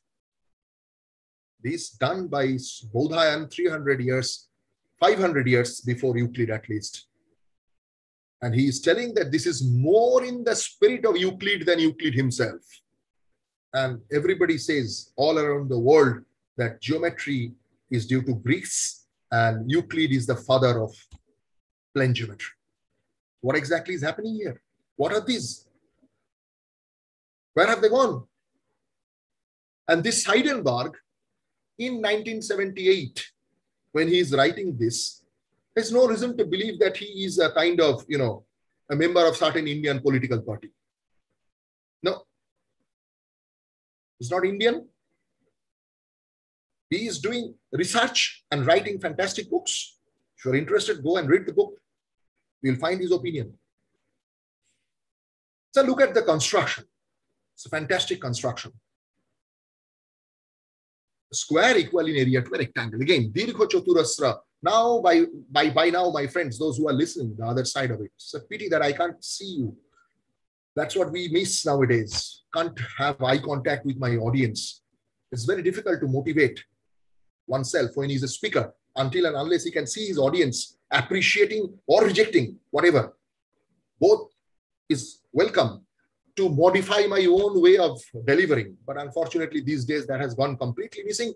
So I just uh, take it as an axiom that perhaps some of you at the other end are listening to it carefully, trying to follow me. For them, it is not new now. Dirgha Chaturasrang, Shamo Chaturasrang, these words are known now. Dirgha Chatura as a rectangle, Shamo Chaturasra a square, Chikirshang. So that, that's what you desire. You want to convert a Dirgha Chatura into a Shamo Chatura. That's what the problem is. Constructing a square equal in area to a given rectangle. And again, my friends, by geometry, exact construction, no approximation involved. And what is the sutra for that? Stirjangamaning. See, Chikirshang, Karuning Kritva. So again, that word is already known to us, Stirjangamani, the transverse side. Take the rectangle. So in, in the language of modern uh, figure, this A, B, C, D that we have drawn over here, the side is AD, the Sirjangamani, the breadth, the smaller one. It has to be coroning Kritwa. You know Koroni? This is also known already. Koroni is to cut off, mark off. So to mark it off. Of course, mark off from what? The other one, the larger one. So from the length, you cut off the side equal to breadth. That means you cut off this AE. You get the point E here, right? AE equals to AD. So that's Tirjang Maning Karuning Kritwa. Next. Shesham Didha Vibhajyo. Shesham. Residue, remainder. So after you cut it off, AE from this length, what is left? This much. The rest of the length is left. That is Shesham and you divide it into equal parts. Didha Vibhajya. Two parts equal. And you get this point G over here, right? So that's that's that's the point here. You get this point G. Shesham Dedha Vibhajya. And then, well, there's a large, long Sanskrit word. That, that's the impediment with Sanskrit for people like me who doesn't know it. You have to break it up, right? Biporjashe tarocha padodhyat. It means actually biporjashe itarat cha upodadhyat. So break it up and try to understand meaning phrase by phrase, word by word. So biporjashe means once you reach this point of construction, you will get this G here. So you had this equal to B, and then rest is of course A minus B. A is the length, suppose. For us in our modern language, length is A and the breadth is B. So the rest is A minus B. You have taken the midpoint of that. So it is A minus B by 2. And now after you reach it, you go turn around before just shape and progress in that direction. Itarat cha. You just turn around and progress in the opposite direction. So previously you are going from E to G to get this midpoint. Now you go back and add them up. Upodadhyat. So you add these two part. This was B and this much is A minus B by 2. And once you add them, you get what? In our language, A plus B by 2. So viporjashe charat viporjashe itarat cha upodadhyat. You got this length. And then khondam abhapena tat shampurayet tasya nirharaha utkaha. So utkaha again is what you want to have, the desired length. And how do you get hold of it? The nirharana, tasya nirharana, what you want, utkaha, how do you get hold of it now? Tasya nirharaha utkaha, that is stated in this part. Khandam abhapena tat sampurayet. Now this, once you find this a plus b by 2, you see the initial segment you started with, it's there's a deficiency, abhapa, khandam, a part. It's a part of what you need. It's deficient. And you have to complete that deficiency. Tat shampurayet. Complete it. Shampurayet. How do you do that? Mathematically, it means that you now take G as a center and draw a arc. And then you see at this point, initial point E that you got hold of here, this E. At this point of E, this EF was exactly equal to B. And now once you draw this arc, this arc, with respect to this arc, this segment EF, this is khandam. It's deficient. You have to go up to the arc. Tat shampurayat. So just extend it to that arc. And you reach this point I, as you can see here. You reach this point I. So you get this length EI. And that is what you want. Tasya nirharaha utkaha. This is the length you are trying to find. This is the required length of the side of that square whose area will be equal to the area of the rectangle. And once again, you see Pythagorean theorem in action. Once you have this side length.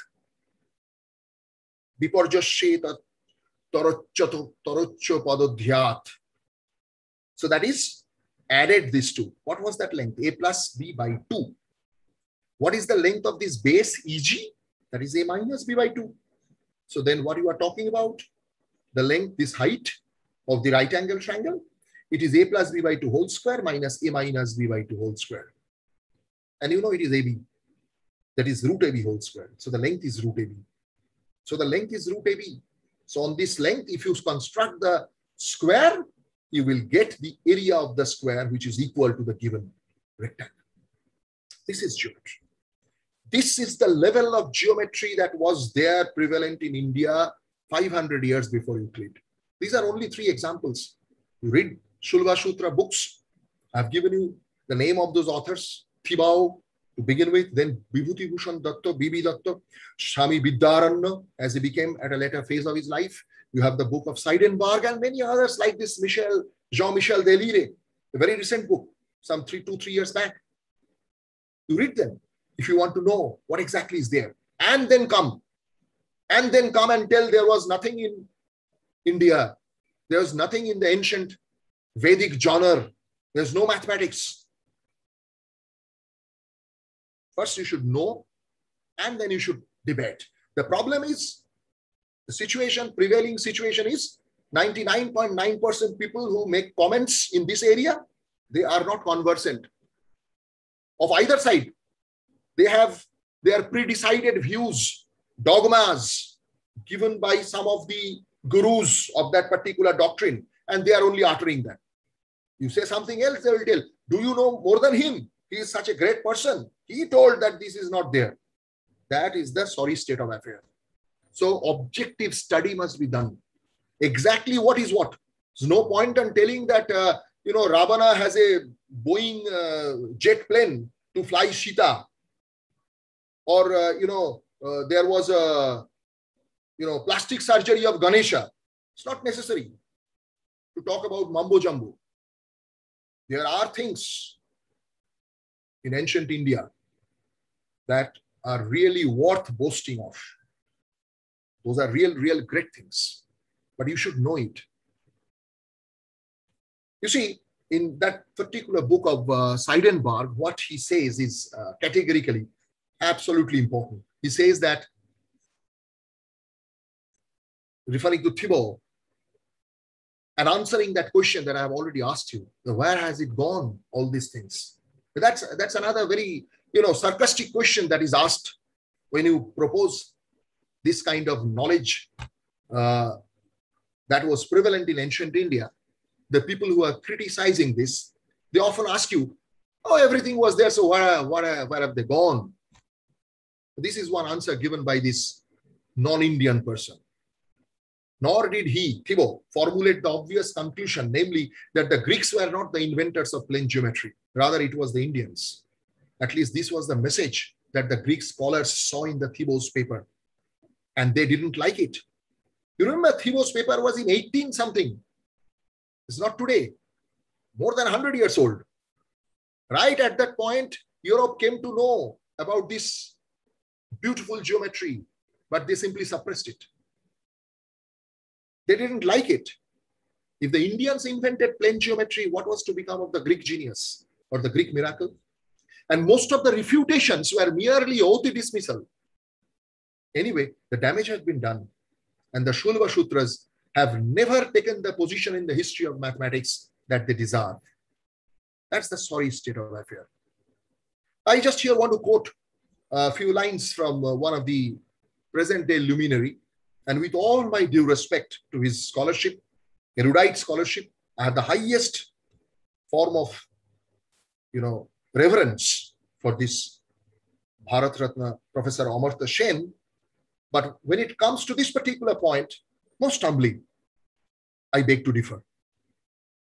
He writes in his book, Argumentative Indian, that as it happens, despite the richness of the Vedas in many other respects, there is no sophisticated mathematics in them, nor anything that can be called rigorous science. You see, a person like Professor, Professor Sen, of his stature, the person who is so famous for his analytic description, analytic presentation of his thought.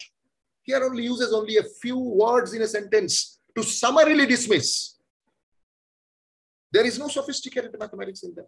Well, if by Vedas, what you mean is the complete Vedic genre, like these things, Shulva Sutras, you won't, of course, you won't get Shulva Sutra in the Samhitas. Vedas it doesn't refer to Shunghitas only. There are several layers of Veda.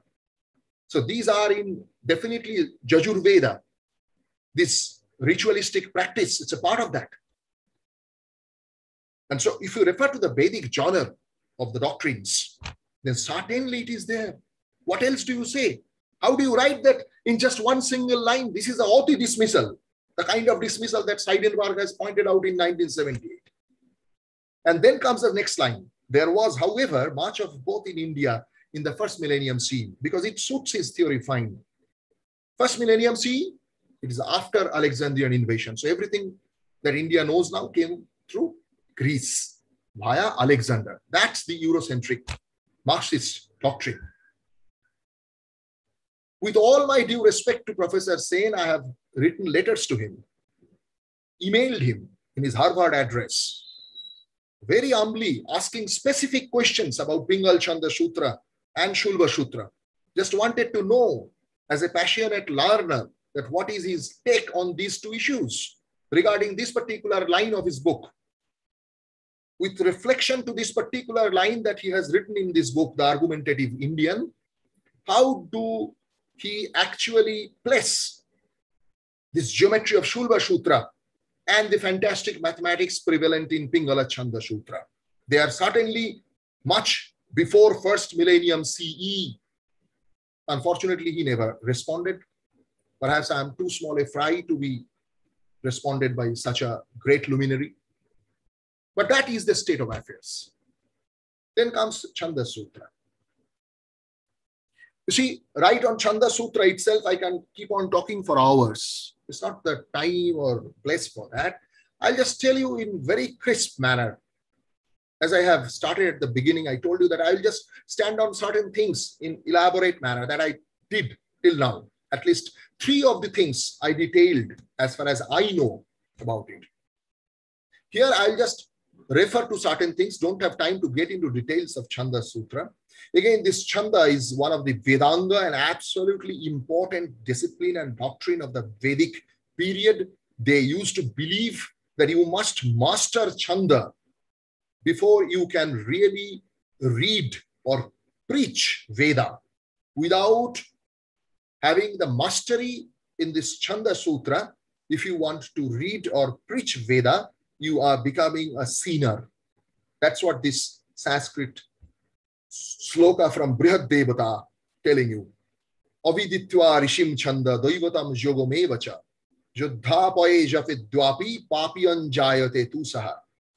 Without knowing about the rishi and the chanda attached with particular sutras, if you preach Veda, then you are becoming a sinner. Papiyan jayate tusaha. Now, there are a, a good repository of this uh, Chanda Sutra knowledge, starting with the second century text of Pingala, Pingala Chanda Sutra.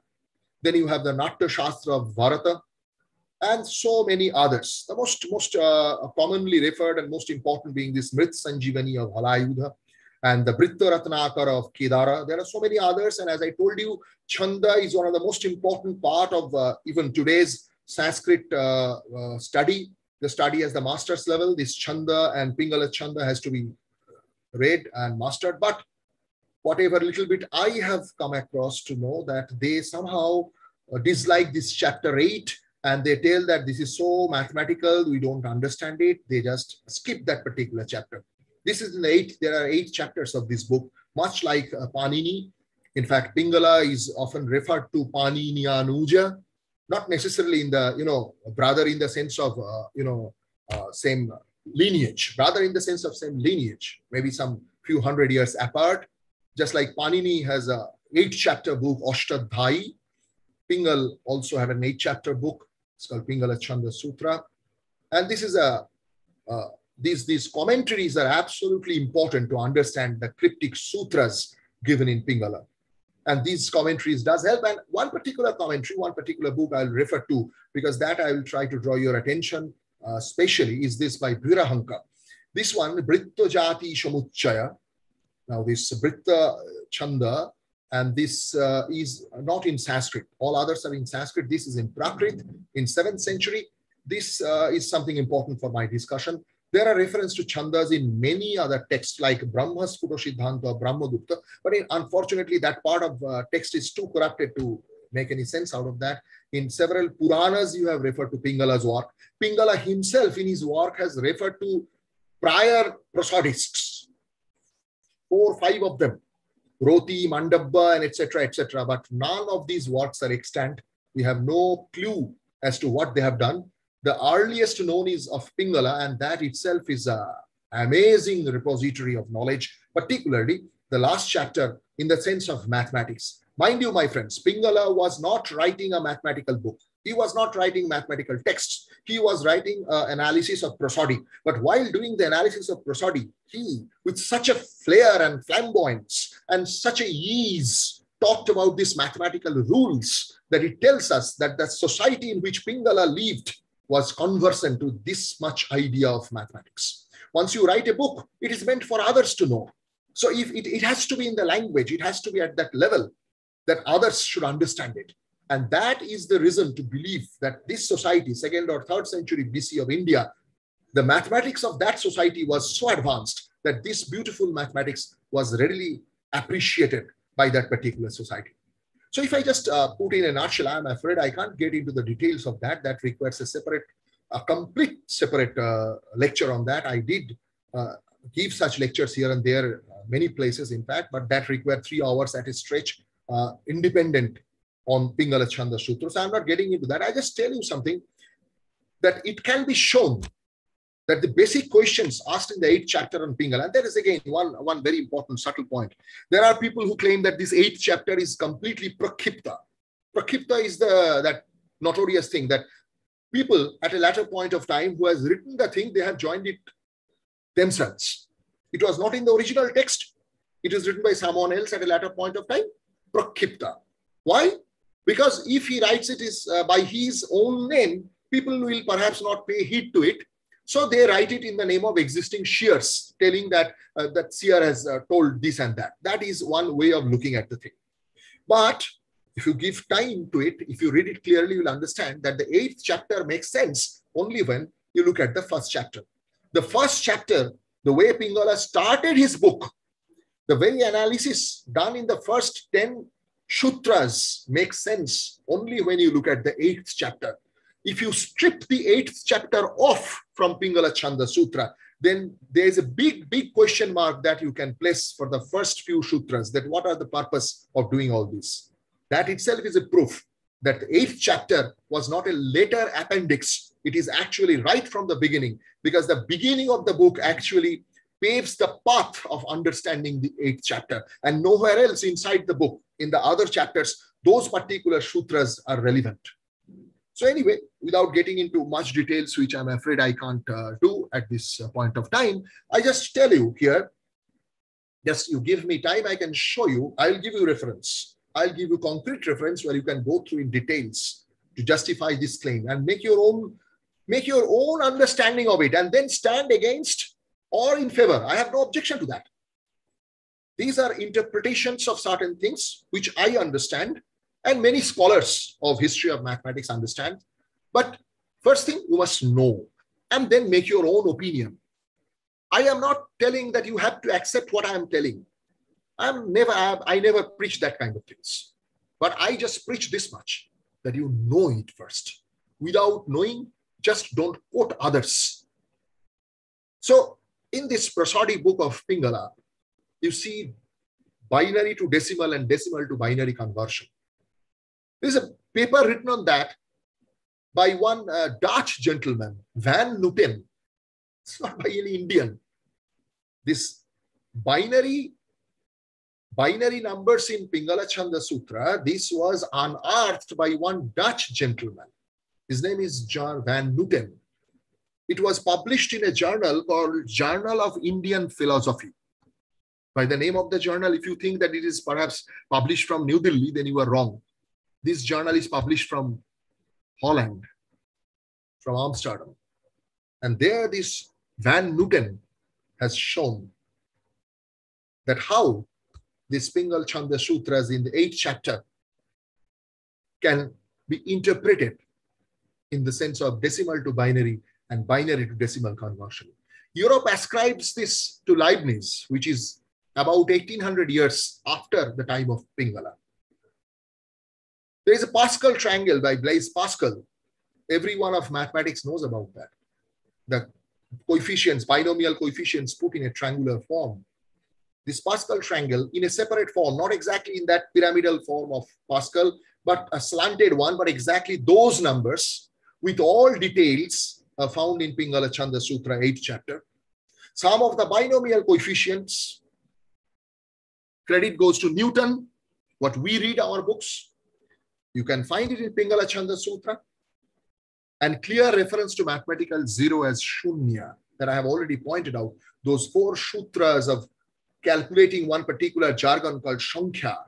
Shankha is not number here, it's one uh, typical uh, jargon, mathematical jargon of one particular combinatorial calculation. And there are four sutras referring to it, and two of them refer to shunya, Rupe Shunnam and Di Shunne. Along with that, there are two others, Dir Ardhe and Tabat Ardhe Tad Gunitam. Four put together leads to a beautiful algorithm. Yes, my friend, algorithm.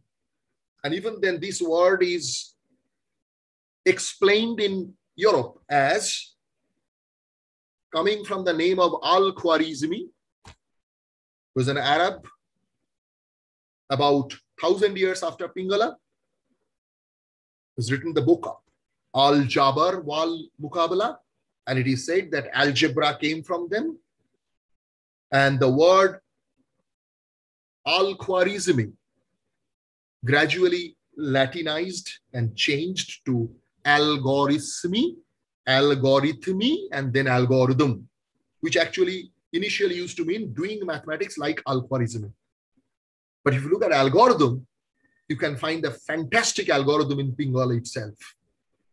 That four sutras that lead to the formula 2 to the power n, where you have n places, and each place can be filled in two different ways, either by a laghu or a guru. These are two basic, uh, you know, units of chanda, akshara chanda. There are two different kind of chandas again, akshara chanda and matra chanda. So in akshara chanda, laghu akshara and guru akshara, they are put side by side and they make different kind of meters.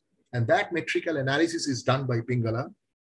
And he asked these mathematical questions that there are some unknown number of places. And the places had to be filled by any of these two type. Repetition allowed. Each place can be filled by either laghu or guru. How many different ways it can be done? So how many different ways these chandas can be made? It is a simple question of class uh, 11 standard.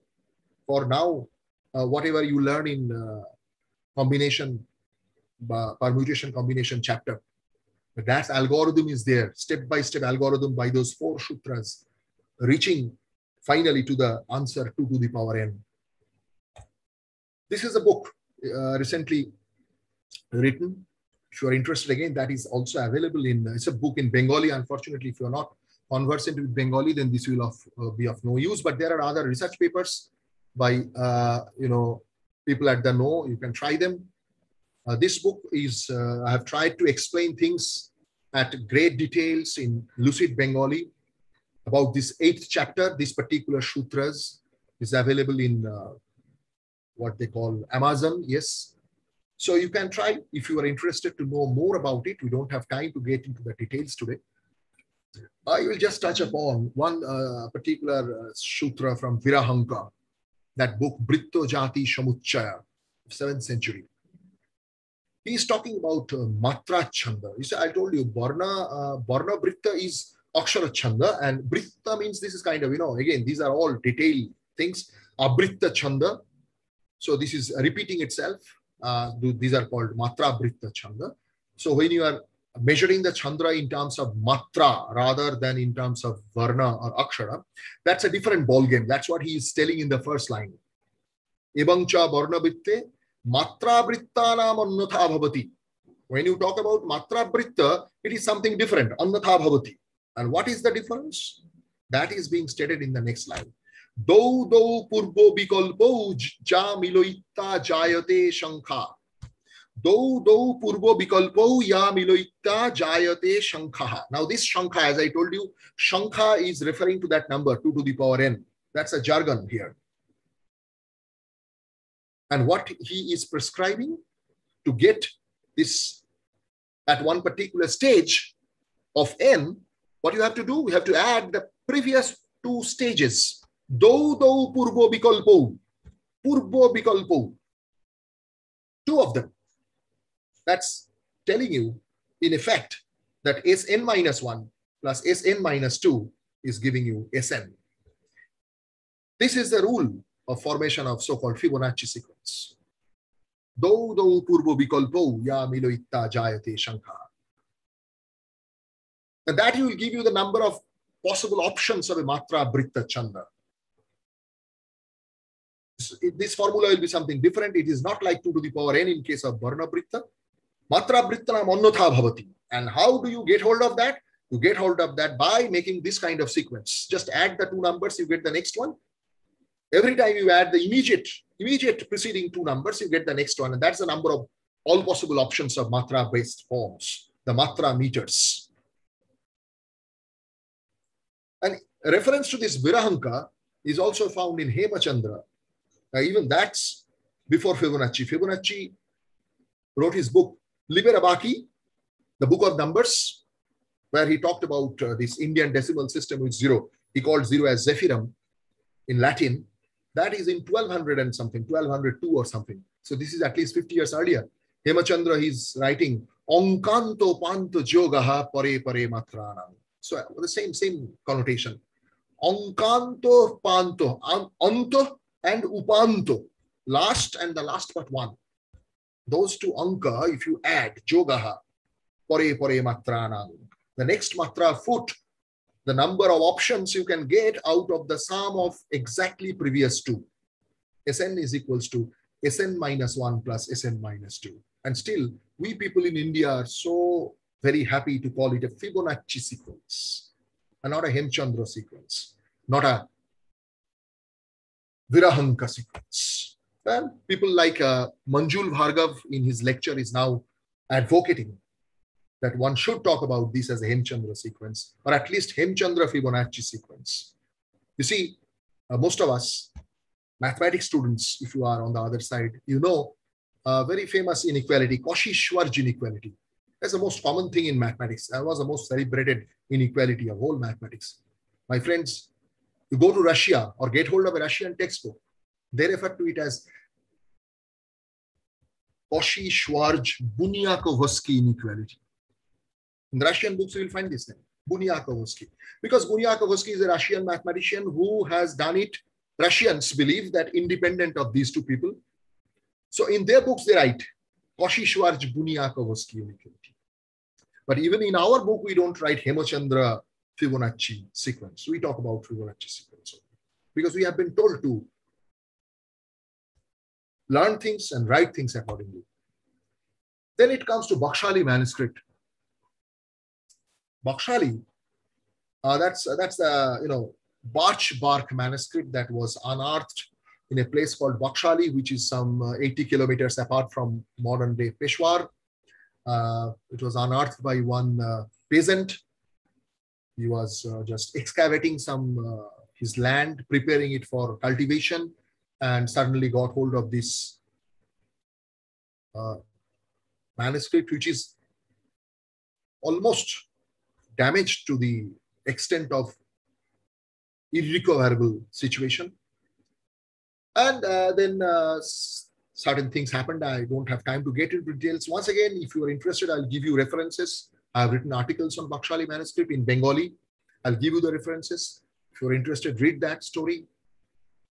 But what is interesting in Bakshali manuscript is amazing level of mathematics in it and replete with number zero, written numeral zero in the form of dot, those bold dots. Remember that Subandhu reference that I told you, that Vasavadatta, Shunno Vindavaha. So you'll find this Shunno Vindu, the written dot zero numeral. And all these are written in decimal system in Bakshali manuscript. So it is very difficult to swallow for Eurocentric scholars if Bakshali manuscript gets dated in 3rd century BC. I'm sorry, 3rd century AD or 4th century AD. This is the time when Takshila was being plundered for good by the Huns. That's the final damage. Who knows that some people from Takshila, some people, some seer from them has got this knowledge somewhere, tried to write it down. There is a colophon in this Bakshali manuscript talking about a person called Chajaka, He's a son of somebody else, and he is telling that I am writing this for the usage of the son of something, some some other people by the name of this and this. He's referring to himself as a prince of calculator. His name is Chajaka. He's son of Hashika, and he is writing it for one particular family. There's a kind of mathematics book so many problems are solved here, so many mathematical problems with complete solutions. It's written in the Gatha dialect of Sharda script. Now, this was prevalent in Kashmir region at that point of time. And recent carbon dating, as you can see, uh, this was so, you know, badly attacked this Bodleian finding immediately by the Eurocentric scholars, and they are so big name that Bodleians actually stepped back and they never actually published their findings in a peer-reviewed journal. But I do have a copy of that. I did contact Bodleian people, and they were uh, nice, nice of them that they have shared a copy of the finding of the whole thing. They have the whole statistical analysis done of the carbon dating, uh, and uh, it shows that 95.4% probability of correctness that formal what is uh, language is called confidence interval as the statistical analysis are done. So all things are there. Their methodology, what they have adopted. And these are the timelines that they have actually found of these three particular uh, particular folios, 16, 17, and 33, that they have put to the carbon dating. There are 70 such folios kept in such a kind of book. Uh, you can't have an access to it. You can't touch it. It, it uh, it is amazing only to know that this actually was deciphered right here in Calcutta. After this was found in Peshawar, uh, is the British period in 1881. This is the time we are talking about. Uh, Calcutta was the you know British capital at that point of time, British capital uh, capital of India. So it came ultimately to Calcutta Madrasa. The director was Professor Hoernle, and he was uh, extremely competent person of uh, deciphering these old texts and he actually deciphered uh, Bakhshali manuscript for the first time and has written several papers and presented them first in Asiatic Society and then in Germany and other places. And then uh, in his lifetime, when he thought that uh, he cannot uh, take hold of this uh, great responsibility of, you know, this uh, priceless document, he has sent it to Oxford. And from that point of time in 1910 or something, this is kept at the Bodleian Library of Oxford it's an Indian document, but no Indian is permitted to even have a closer look to it. Uh, we are interested, we talk about the Kohinoor, that why should the queen wear the Indian Kohinoor and it should, they should give it back to us. And to me, an humble uh, student of mathematics, this is even more priceless than Kohinoor. Nobody ever talks about bringing back Bakshali manuscript to India. So they have taken everything of us, including such priceless documents of our civilization. Anyway, this has been, you know, uh, pictured by modern uh, technology and with respect to that uh, pictures and etc. This has been uh, deciphered, read, interpreted right from the time of B.V. Datta. And here you see this is one particular page uh, by Bill Casselman and you see these numbers there. These are actually, actually scripts of number 7250. This is zero over here, right? And this number, please remember it. I'll just come to it in few few minutes that what is the significance of such a large number. This is actually one way of writing fraction, right? Bakhshali manuscript, they used to write fractions by this. There was no separator line. There was no separator line between these two, right? This is the numerator and this is the denominator. Now this fraction is referring to something, something absolutely amazing. I'll come to that. I'll shortly come to that, but remember this, this is five, zero. Can you match that? Seven here. This is seven. Can you see that? This is seven here and seven there as well. So this is the number. This is how you can read Bakhshali manuscript once you know that how it is to be read. And this is the magazine Bigyan Kotha published by uh, Bigyan Prashar. It's an autonomous body under uh, Department of Science and Technology, Government of India, which publish, which is publishing Bengali uh, journal Bigyan Kotha uh, from last year. So this is in four successive issues October, November, December, and January that I have written uh, about Bakhshali manuscript. So those who are interested can go. This is uh, free available in net. You just go to uh, the site of uh, Vigyan Prashar, write Vigyan Kotha in Google, and you will find all this. So in the October, November, December, January issue, you can just uh, uh, download and read a little bit of what I have written over there. But today I'll just talk about one particular issue on Bakhshali manuscript that will, I'm sure, mesmerize you that will simply mesmerize you with the understanding of mathematics that these people had at that early era. This is the page I was referring to, right? That particular page. And this is this is the Bakhshali scripts of numerals. One, two, three, four, up to this is the zero, right? And this is the page 46. This is the number. And this number has been recovered by scholars after detailed calculation. Some of them has gone for good. As you can see, these are all torn, mutilated but the rest is matching. So accordingly, calculating right from the beginning, the other thing has been actually this, this is here, the separate the color red, that these where they are actually in the whole barch bark had then been available to us. But these are what we have, and this is what is lost. The red part is lost, but this has been actually reconstructed by historians and mathematicians who calculated on this. Uh, is the one great scholar working on it, Takao Hayashi, Japanese, on Bakshali manuscript in present days, along with many other scholars like uh, Kim Plofker, Clemency Montelle, and many others. Anyway, so, but uh, with a Eurocentric bias, some of them, of course, because they are not ready to accept Bakshali manuscript before 9th or 10th century. Because 9th century India is writing zero that cannot be refuted. That zero is to be found in the Gwalior fort. It's, uh, you know, engraved in stone. No one can refute that India was writing natural, normal zero, not this bold dot zero. The further evolution, zero became the way it looks now and that zero is engraved in the walls of a temple, Chaturvuja temple in Gwalior fort.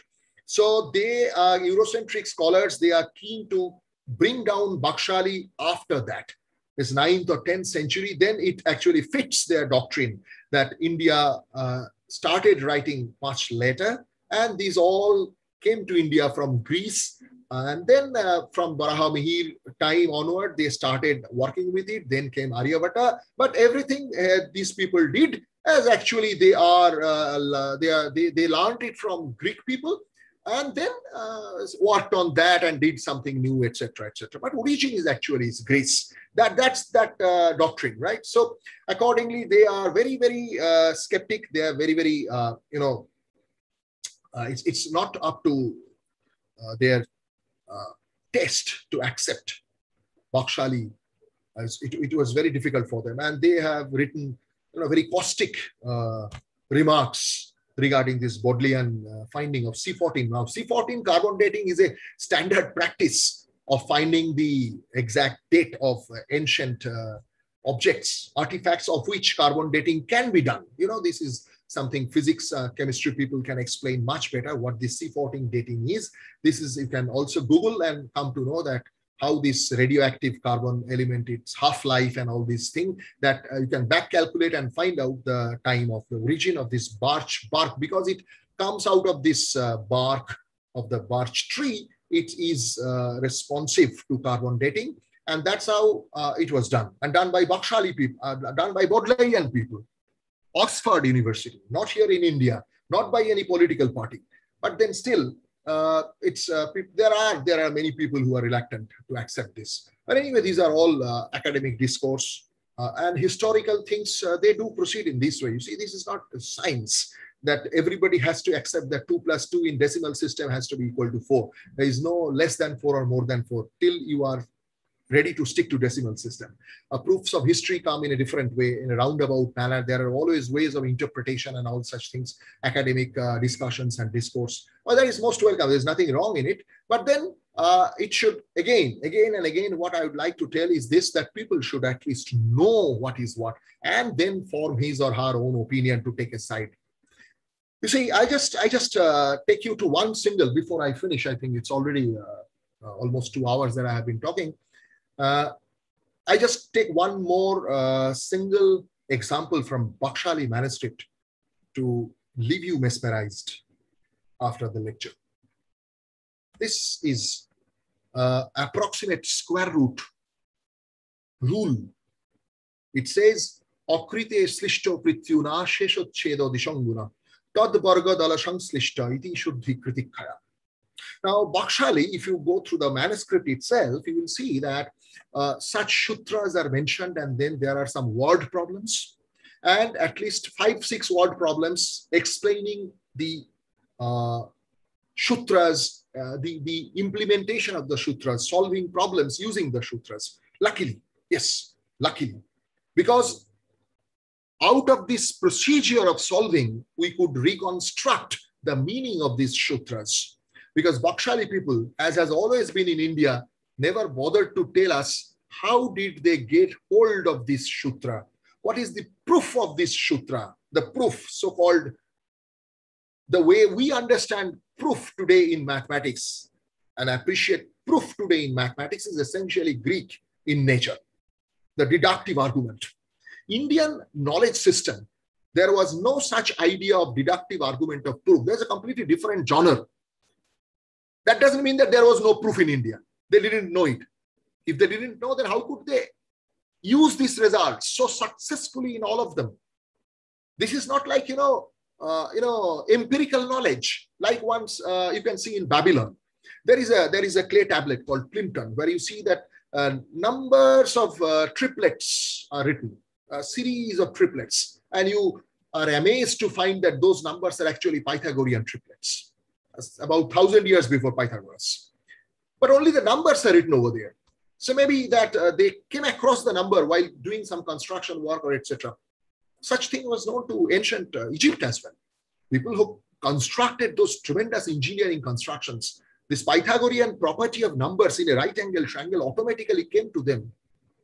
But proof, whatever we call proof today, that deductive pattern of argument, you can find only in Greece. And since we accept that as a modern way of looking at mathematics, that is what we learn in our schools and colleges. That's how you prove things. But that doesn't mean that every ancient knowledge system had to have that kind of proof. There was a different kind of thing in India.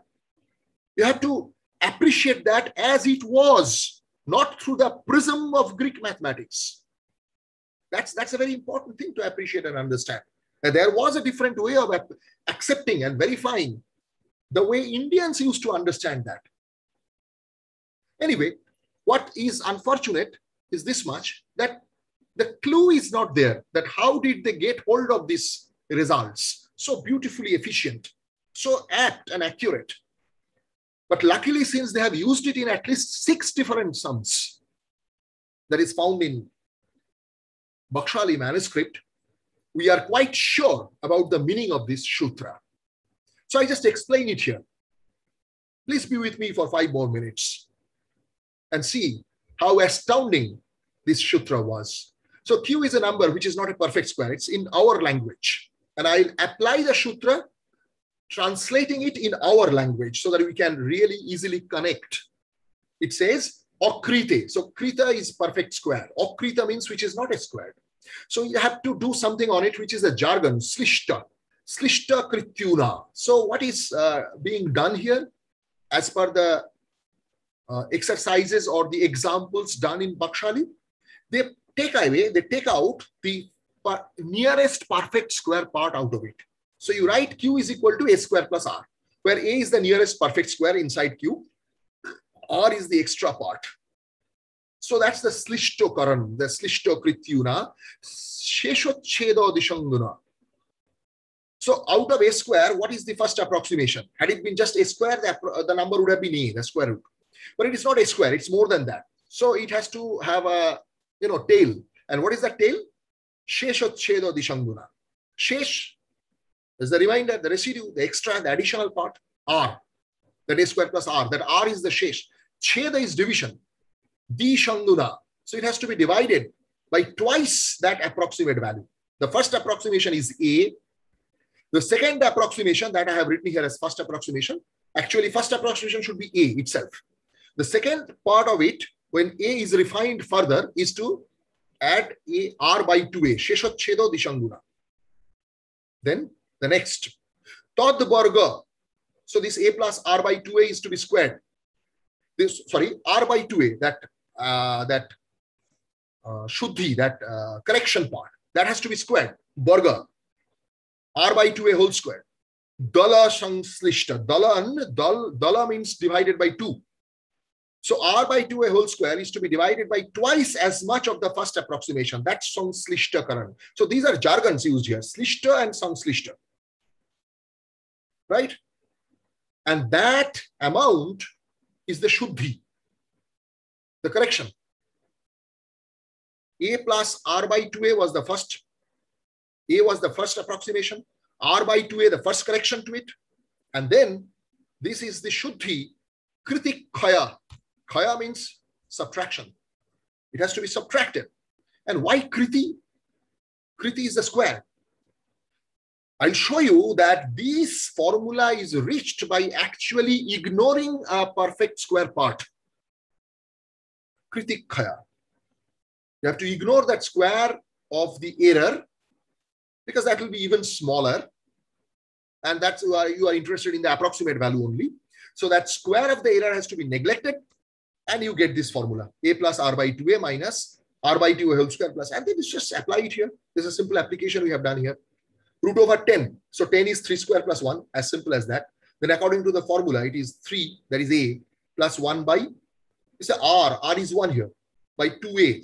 So 1 by 6 minus the square of that, 1 by 36 by 2 into 3 plus 1 by uh, 3 plus 1 by 6. Now help yourself with a calculator and find that this is the value, which is the direct value. If you can directly calculate root 10 by your calculator, you will see that this matches five decimal places.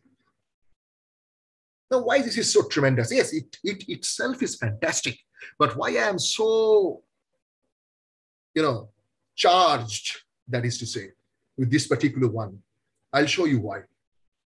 First of all, this is the algebraic description of the formula done in today's language. Q was a square plus R. So where from this suddenly this A plus R by 2A comes? It comes to this avenue. You just rearrange a square plus r in this manner. You take a common, then write this as 2r by 2a, and then you write it this way. Sum and difference. r by 2a plus r by 2a, and this is r by 2a minus r by 2a. That is this first a, right? So this is a plus b into a minus b, and it looks like this. And you accept the first one, neglecting this. Can you see that? Kritik You neglect this. And what you get is this. This is a perfect square term. And the square root of that is, of course, your approximation. It's not the exact value, so it is a plus r by 2a. That's the first part. And then if you want to get one step further, of course, square root of q is not a plus r by 2a. There is an error in it, so you just add one e to it. That's the error part. And then simplify and try to assess the error. So this is squaring both the side and simplifying uh, two, three steps. Very usual, very, very usual uh, calculation of algebra. You reach this step where you have this, this equation here.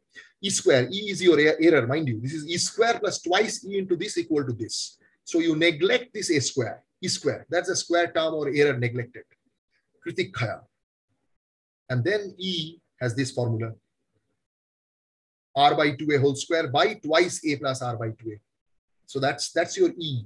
So the further, further uh, better formula Further better approximation, the second phase of approximation is this.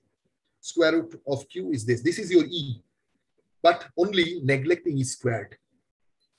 Iti shuddhi kritik khaya, right? And these are application of that in one particular problem of finding a rational approximation to the solution of this equation. They have come across this, this number 336009. The square root of that has to be calculated. And there they have applied this formula 336009 is 579 whole square plus this. And then you are applying this formula. Believe me, I'm not, I don't have time to get into the details of that calculation. It's not difficult. Step by step, the same formula is being done. And once you reach this formula finally, what you get is this value. This value you can check, it is correct up to 13 digits. What they used to do is something fantastic after that. They used to put that in the original expression and check it, whether the calculation was correct. And that checking gave rise to this number, that exact equal to 7,000, that you have to put that back, this approximate formula, balancing its approximation. You have to put it in the original formula and simplify.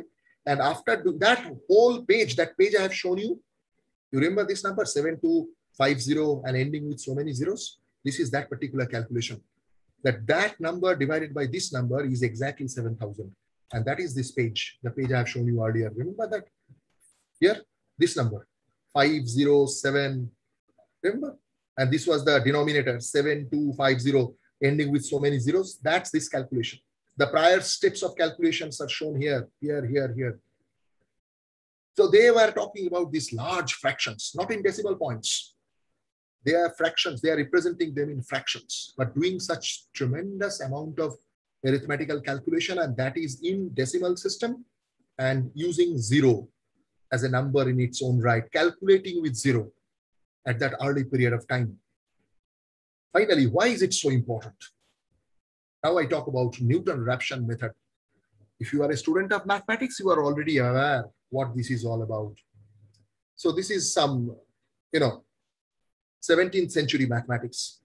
And we are there in fourth century in Bakshali. And here I see that uh, Newton-Raphson is telling that if you have a function fx equal to zero, you want to guess a root of it, x0 is an initial choice, then x1 is a better choice if you do this by calculus. This is what we teach in classes, right? Newton-Raphson method. This is a part of the syllabus of uh, undergraduate text. Numerical analysis, right? x1 is equal to x0 minus fx0 by f dash x0. And that's a better approximation. And you have a general formula with, of course, the assumption or the restriction that f dash xn should not be equal to zero. Do this on Bakshali. Do this on the Bakshali calculation, x square equal to a square plus r. That, that's what we started with in case of Bakshali. So take the function fx equal to x square minus a square minus r. Apply Newton-Raphson. The first is a. That's the first uh, stage of approximation, x equal to a. And that's your x0. So what will be x1? x0 minus fx0 by f dash x0. So just simple derivative. To do that, x0 minus f x naught, that's minus r. And this is twice a, the derivative of that at the point x0, which is a. So that's what you get, a plus r by 2a. Then go for the second stage, x2 equal to x1 minus fx1 by f dash x1. It's not difficult to just simplify, calculate, and bingo. There you have the Bakshali formula. Without calculus, the Newton-Raphson formula, some more than 1,000 years before Newton's time. This was the level of mathematics India attained at a certain point of time. I just keep on talking about many more things, but I don't think I have time uh, for that, nor is it necessary. Uh, I rather leave with this famous uh, quotation from A.L. Basham, the wonder that was India. He says that most of the great discoveries and inventions of which Europe is so proud would have been impossible without a developed system of mathematics. And this in turn would have been impossible if Europe had been shackled by the unwieldy system of Roman numerals. There was no zero in Roman system.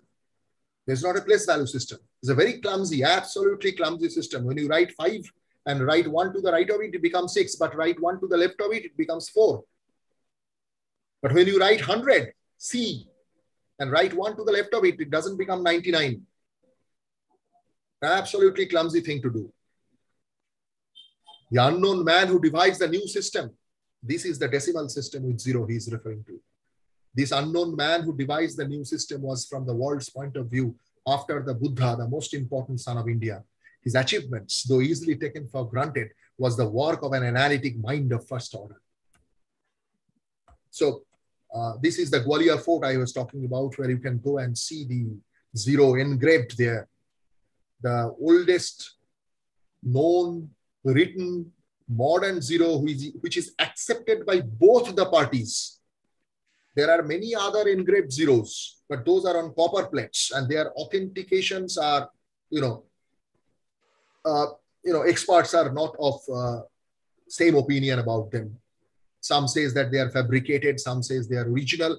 But this one, uh, you go back, uh, this one is undisputed. But this is only very late, very late in 9th century.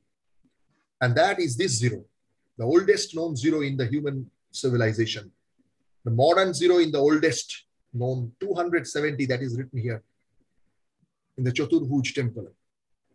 Uh, this is uh, one uh, king, uh, Mihir Bhoja, there's an inscription made by that king. There's a land grant charter, which is inscribed on stone. Uh, this Chaturvuja, that is Vishnu, uh, a particular uh, area of land was being granted for, you know, making, you know, for making a flower bed. And this is the length of that land, 270. Luckily, the number used some zeros, so we know this. So we get hold of zero. It was 270 hasta, in length and 187 hasta in breadth.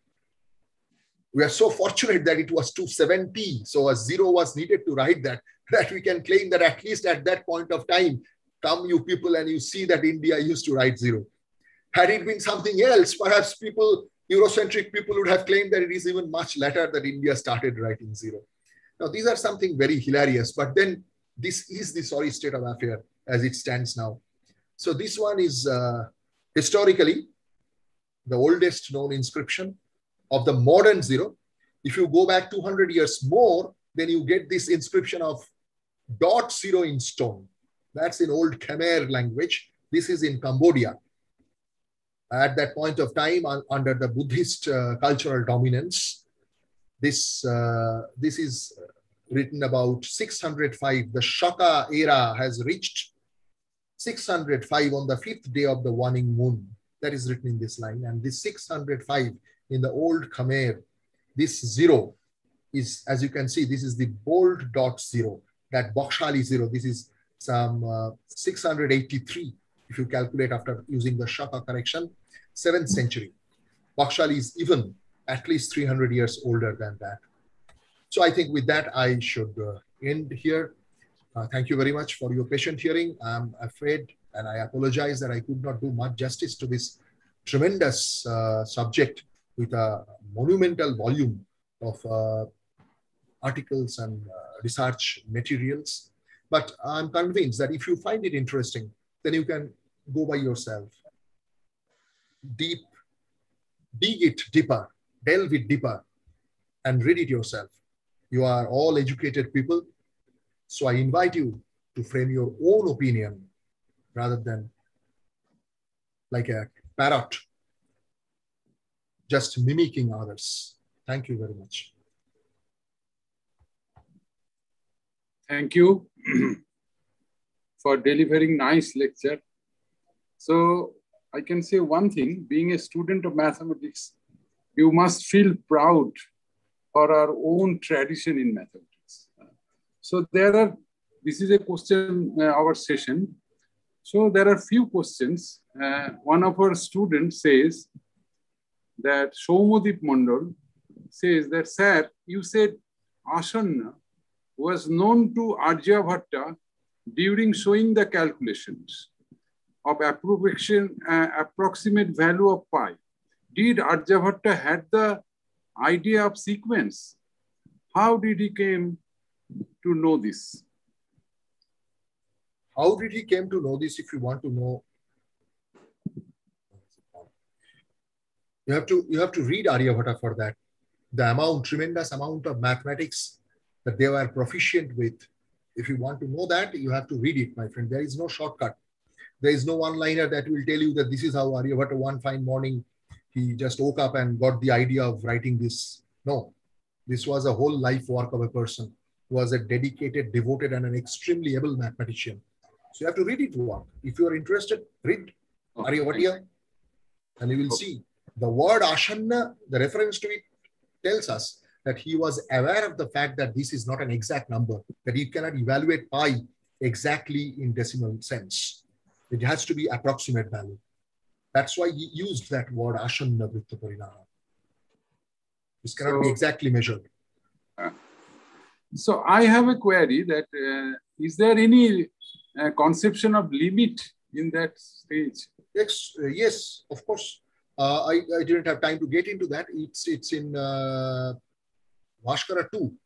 In Bhaskaracharya's work of Khahara, there is a fantastic paper by Avinash Sathaye. He's a professor of mathematics, professor of algebra from University of Kentucky. He's a student of the renowned professor Abhyankar, and he's a great Sanskritist himself. Uh, he came to Calcutta to give this lecture in Asiatic Society. while I was there and I interacted with him. And if you uh, this paper is published in Ganita Bharati, you will see this uh, Khahara concept of Bhaskara, this division by zero. We say division by zero is infinite. We say division by zero is impossible. But Bhaskara, Bhaskaracharya actually had a different idea of uh, dealing with this kind of expression x by zero. He is not actually executing the division. He is writing it as a formal symbol and using it as, you know, our union, this kind of symbols are x into zeros and x by zeros and doing a whole lot of mathematics out of it. These are R union, this kind of symbols, just like the things in R, they are symbols, the numerals. They have, he had an idea of this ka guna and ka hara. These are objects which are like x by zero. It doesn't mean he is asking you to divide it by zero. Just like you see in, in, in modern mathematics also, we often write the equation of a, say three-dimensional equation of a line. You often write x minus something by zero. equal to y minus something by zero when you use that form of you know those uh, direction ratios and cosines do you mean that you divide by zero you don't divide by zero but that's a form so in Form. spirit in, in spirit of that uh, uh, Bhaskaracharya used this thing, and there are sums in uh, uh, Lilavati and Bijaganita actually, where you find this idea. In the sums of Lilavati, when uh, what he has done is uh, somewhat that can be expressed with the idea of uh, limit, that this is, you know, uh, tending to infinity, that something is becoming less and less and less, it's becoming Yes. tending to infinity. But if you go to the sums using Khara in uh, the other book, which is Bijaganita, it is a complete new mathematics that he is talking about. It's amazing. And more amazing is this has been referred to by Ramanujan. This uh, idea of division by zero, etc., and the related thing was referred to by Ramanujan when he was there in Cambridge, and he referred it to none other than PCM, Prashanto Chandra Mahalanabish. If you read the reminiscence of Mahalanabish, here he has pointed out that Ramanujan used to talk about these kind of uh, uh, amazing things that I could never follow.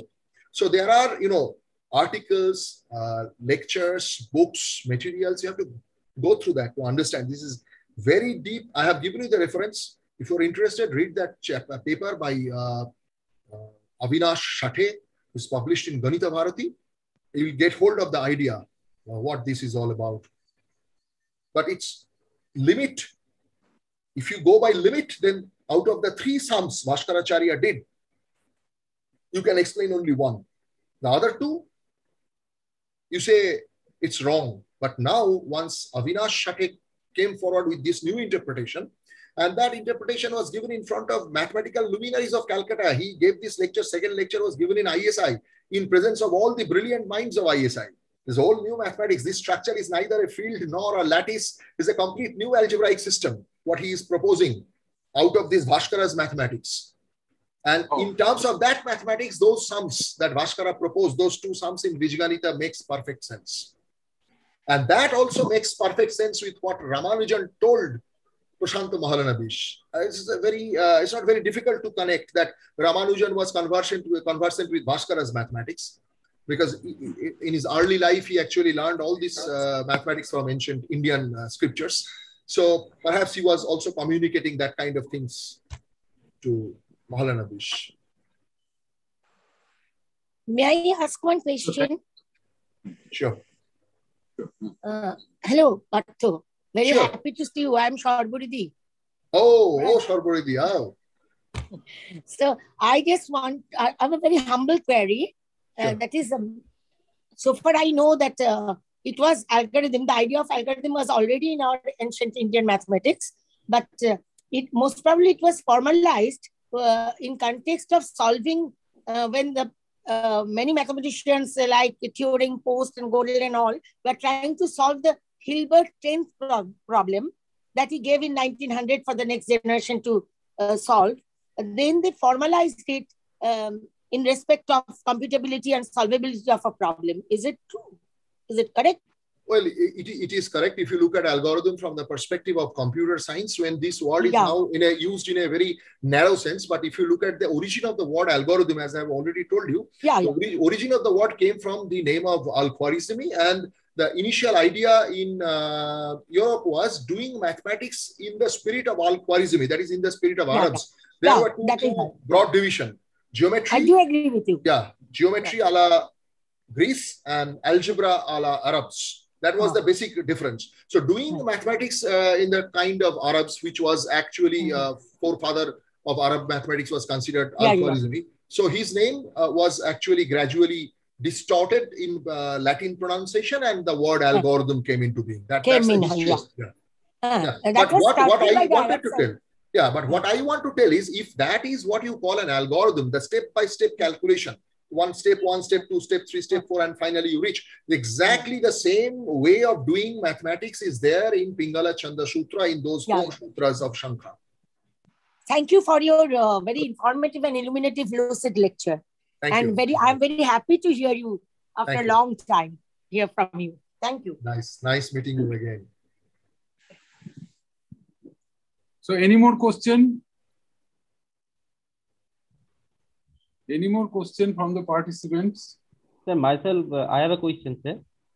Thank you, sir, for your uh, nice presentation, actually. Uh, uh, myself, Monishankar Mondal from the Government Engineering Degree College, Head Department of Mathematics. Sir, I want to know, is there any uh, concept of uh, representing negative number in the uh, in that uh, uh, time period, ancient time? Yes, of course.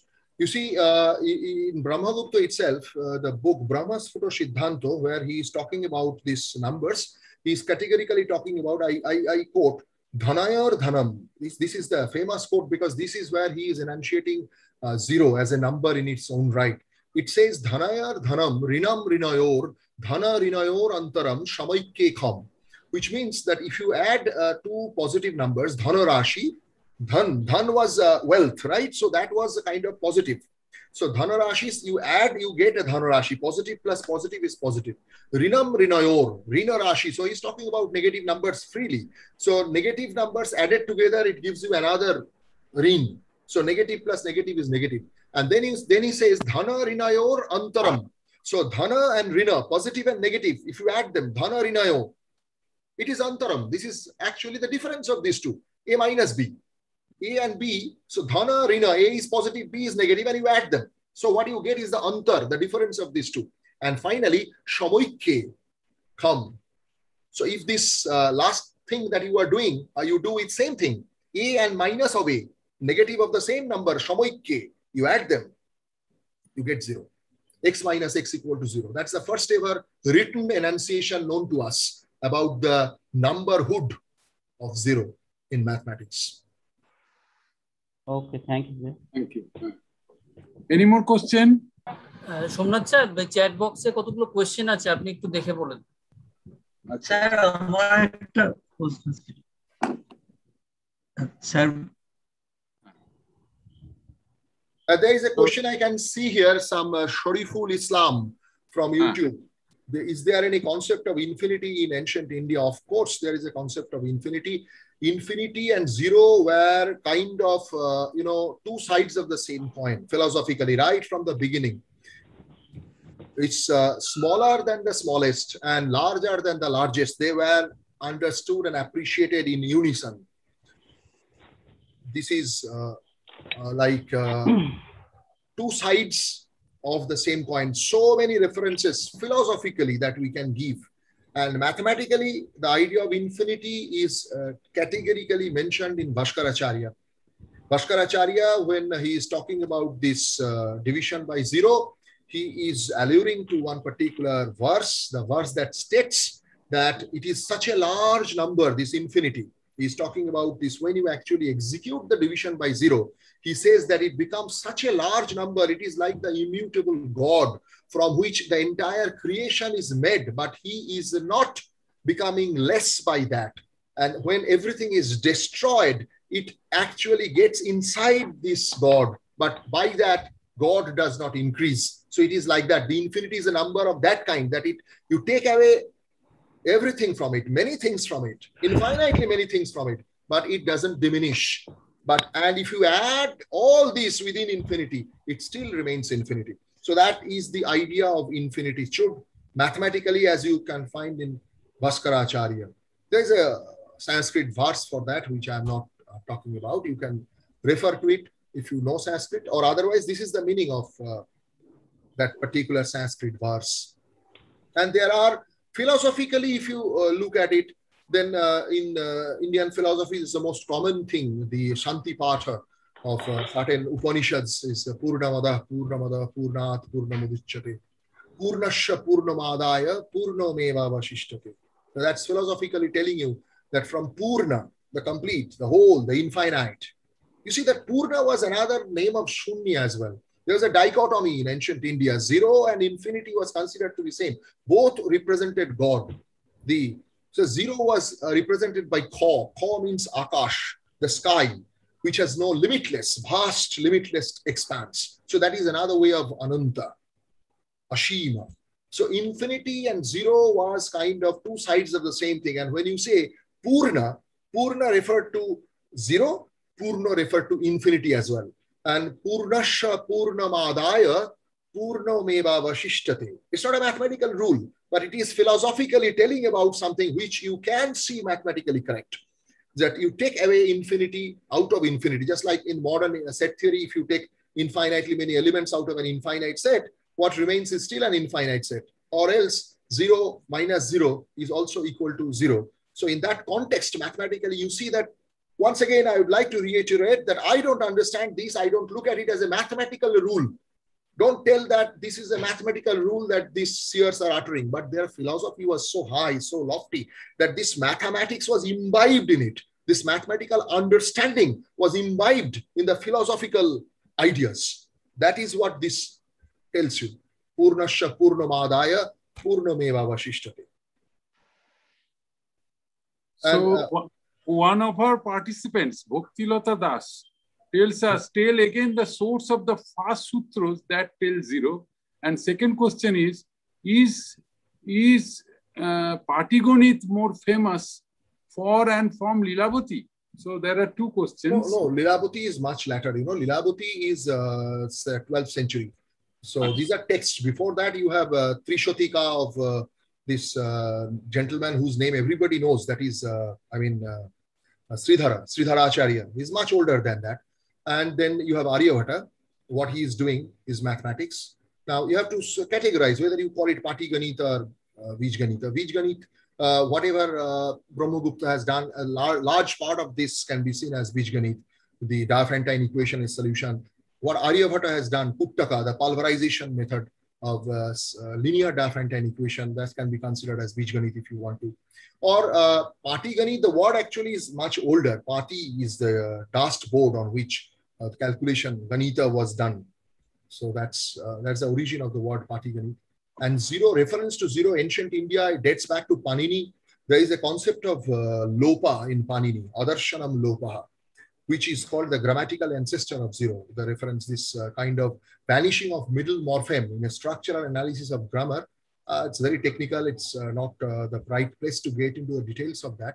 But this much I can tell you that this is a form of vanishing down or zeroing down something that is called the grammatical ancestor. And if you go back to the uh, texts, uh, ancient Indian texts, then uh, as far as I know, the oldest reference one can find to zero is in Gopatha Brahmana. It's called Chidram Khom Iti Uktam. So Kha is a very old way of expressing zero and Chidra, the puncture mark, is referred to as Kha in Gopatha Brahmana. You know, Brahmana is one of the oldest uh, layers of the Vedic uh, genre scriptures. And in Gopatha Brahmana, you have this reference. There are so many other references in many, many texts. Uh, why don't you come someday to Zero Gallery of Ramakrishna Mission Residential College, Narendrapur? Uh, I have tried to, you know, put together all the references as much as I could that I have been studying uh, with all my passion for last uh, about two decades. So all of you are most welcome to visit Ramakrishna Mission Residential College, Narendrapur Zero Gallery. If you have any queries on Zero, I think uh, uh, this gallery is the place that you should come and visit. And I, I, I believe that you will get uh, some, some of your queries, some of your answers resolved there. Thank you very much. So thank you. Mm. There is no, uh, no more questions. Sir আমার একটা জানার ছিল বলুন আচ্ছা আবার question হ্যাঁ হ্যাঁ sir বলছি যে ওই যে লীলাবতীর কথা বলে লীলাবতীতে আমি এক জায়গায় পড়েছিলাম যে সবক বলে একটা পদ্ধতি আছে যাতে মানে অনেক বড় বড় ক্যালকুলেশন খুব তাড়াতাড়ি করা যায় বা বিশেষ করে সিম্পল কন্টিনিউড ফ্র্যাকশনের যে ক্যালকুলেশন এটা সম্পর্কে যদি একটু বলেন। এটা সম্পর্কে বলার মতন আমার ধারণা নেই এই মুহূর্তে। লীলাবতী তো আপনি পড়েছেন, আপনি দেখেছেন, আছে এরকম fantastic things ancient Indian mathematics অনেক কিছু আছে। লীলাবতীতে যা আছে সেটা থেকে সত্যি সত্যি আমাদের এখানকার ক্লাস সেভেন এইট নাইনের অঙ্কের বই তৈরি করা যায়। আমরা যে অঙ্কের বইয়ের পাটিগণিত শেখাই, সেই পাটিগণিত অনেক বেশি কনভার্সেন্ট হয়েতে লীলাবতীতেও আছে। কিন্তু আমাদের দেশ যদি বিদেশিদের জুতোর তলায় দুশো বছর, তিনশো বছর, পাঁচশো বছর ধরে জাতাকলে না পিসতো তাহলে আমরা হয়তো আমাদের মতন করে অঙ্ক সেভাবেই শিখতাম।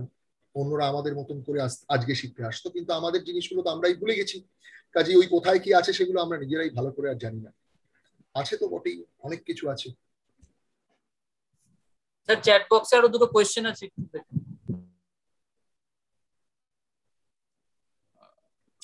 এখানে আমি একটা কোশ্চেন দেখতে পাচ্ছি in ancient mathematics is there any higher dimensional concept yes there is in Jaina mathematics, there are concepts of infinitely many infinities. In Jaina mathematics, there are different layers of infinites, just like you, you know, the uh, modern form of set theory talks about uh, the higher versions of infinity from countable to uncountable to other the uh, doctrines of uh, modern set theory. In Jaina texts, ancient Jaina texts, you will find these kind of higher dimensional concepts. Chat বক্সে তো reference চেয়েছে আর তো কোনো question নেই দেখছি। একজন বলেছে PPT share করার কথা।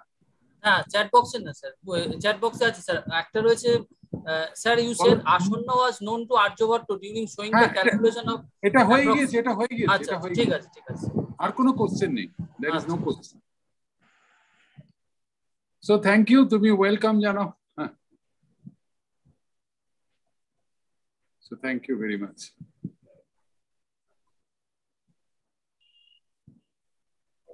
Okay, so should I leave? Ah, you can. Okay. Thank you. Thank you. Thank you. So thank you, Dr. Bandyopadhyay. Now I request Moni Shankar Mondol, Head of the Department of Mathematics, Government General Degree College, Kalna 1, to for vote of thanks. So please, Dr. Mondol. Uh, thank you, Dr. Das. Uh, good evening, everyone. Respected and our most distinguished chief guest of the webinar, Dr. Parthasarathi Mukhopadhyay, Associate Professor, Ramakrishna Mission Residential College, Narendrapur. Respected principal sir doctor Subhasis Dutta Maulana Azad college principal sir professor doctor Krishnendu Dutta government general degree college at Kalna one professor Subirchandra Dasgupta coordinator IQAC Maulana Azad college doctor Parnajyoti Karmakar coordinator IQAC GGDC Kalna one my dear colleague participant and my student It is such an honor for me to get opportunity to thank all the dignitaries. On behalf of the organizing committee, I extend a warm welcome to the people in the gathering. I would like to express my gratitude to all esteemed delegates of the webinar for their presence and contribution in making the webinar grand success. First of all, I would like to thank Dr. Subhasis Dutta, Principal Maulana Azad College, and Professor Dr. Krishnendu Dutta, Principal, Government General Degree College, Kalna 1, for taking effort and providing immense support to make this webinar successful. I would also like to thank the Department of Mathematics, Maulana Azad College, and GGDC Kalna 1 for organizing this webinar jointly.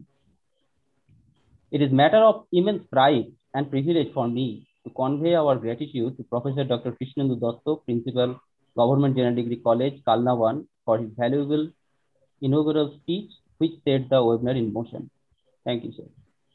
I must thank Professor Subir Chandra Dasgupta, Coordinator IQAC, Maulana Azad College, for his welcome address. I extend my gratitude to our honorable chief guest, Dr. Parthasarathi Mukhopadhyay, to take out time from his busy schedule to grace the event.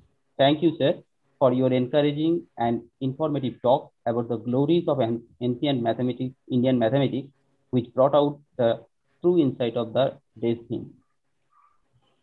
I extend my gratitude to Dr. Nando Das, Program Coordinator, for his continuous efforts for this webinar. A special thanks to Dr. Somnath Bandyopadhyay, Associate Professor, Department of Mathematics, Maulana Azad College, for smoothly conducting the webinar. I would like to thank Dr. Supriyo Das of Skyline Web in application for his tireless effort to extend the uh, technical support for the last few days, which enable us to run this webinar in such an unhindered way in virtual mode. Finally, the wonderful students, faculties, researchers who have turned up in such huge numbers, not only from our within and outside our state. Thank you so much for your cooperation and active participation. Once again, I thank all for your cordial support to make this webinar a grand success. Thank you.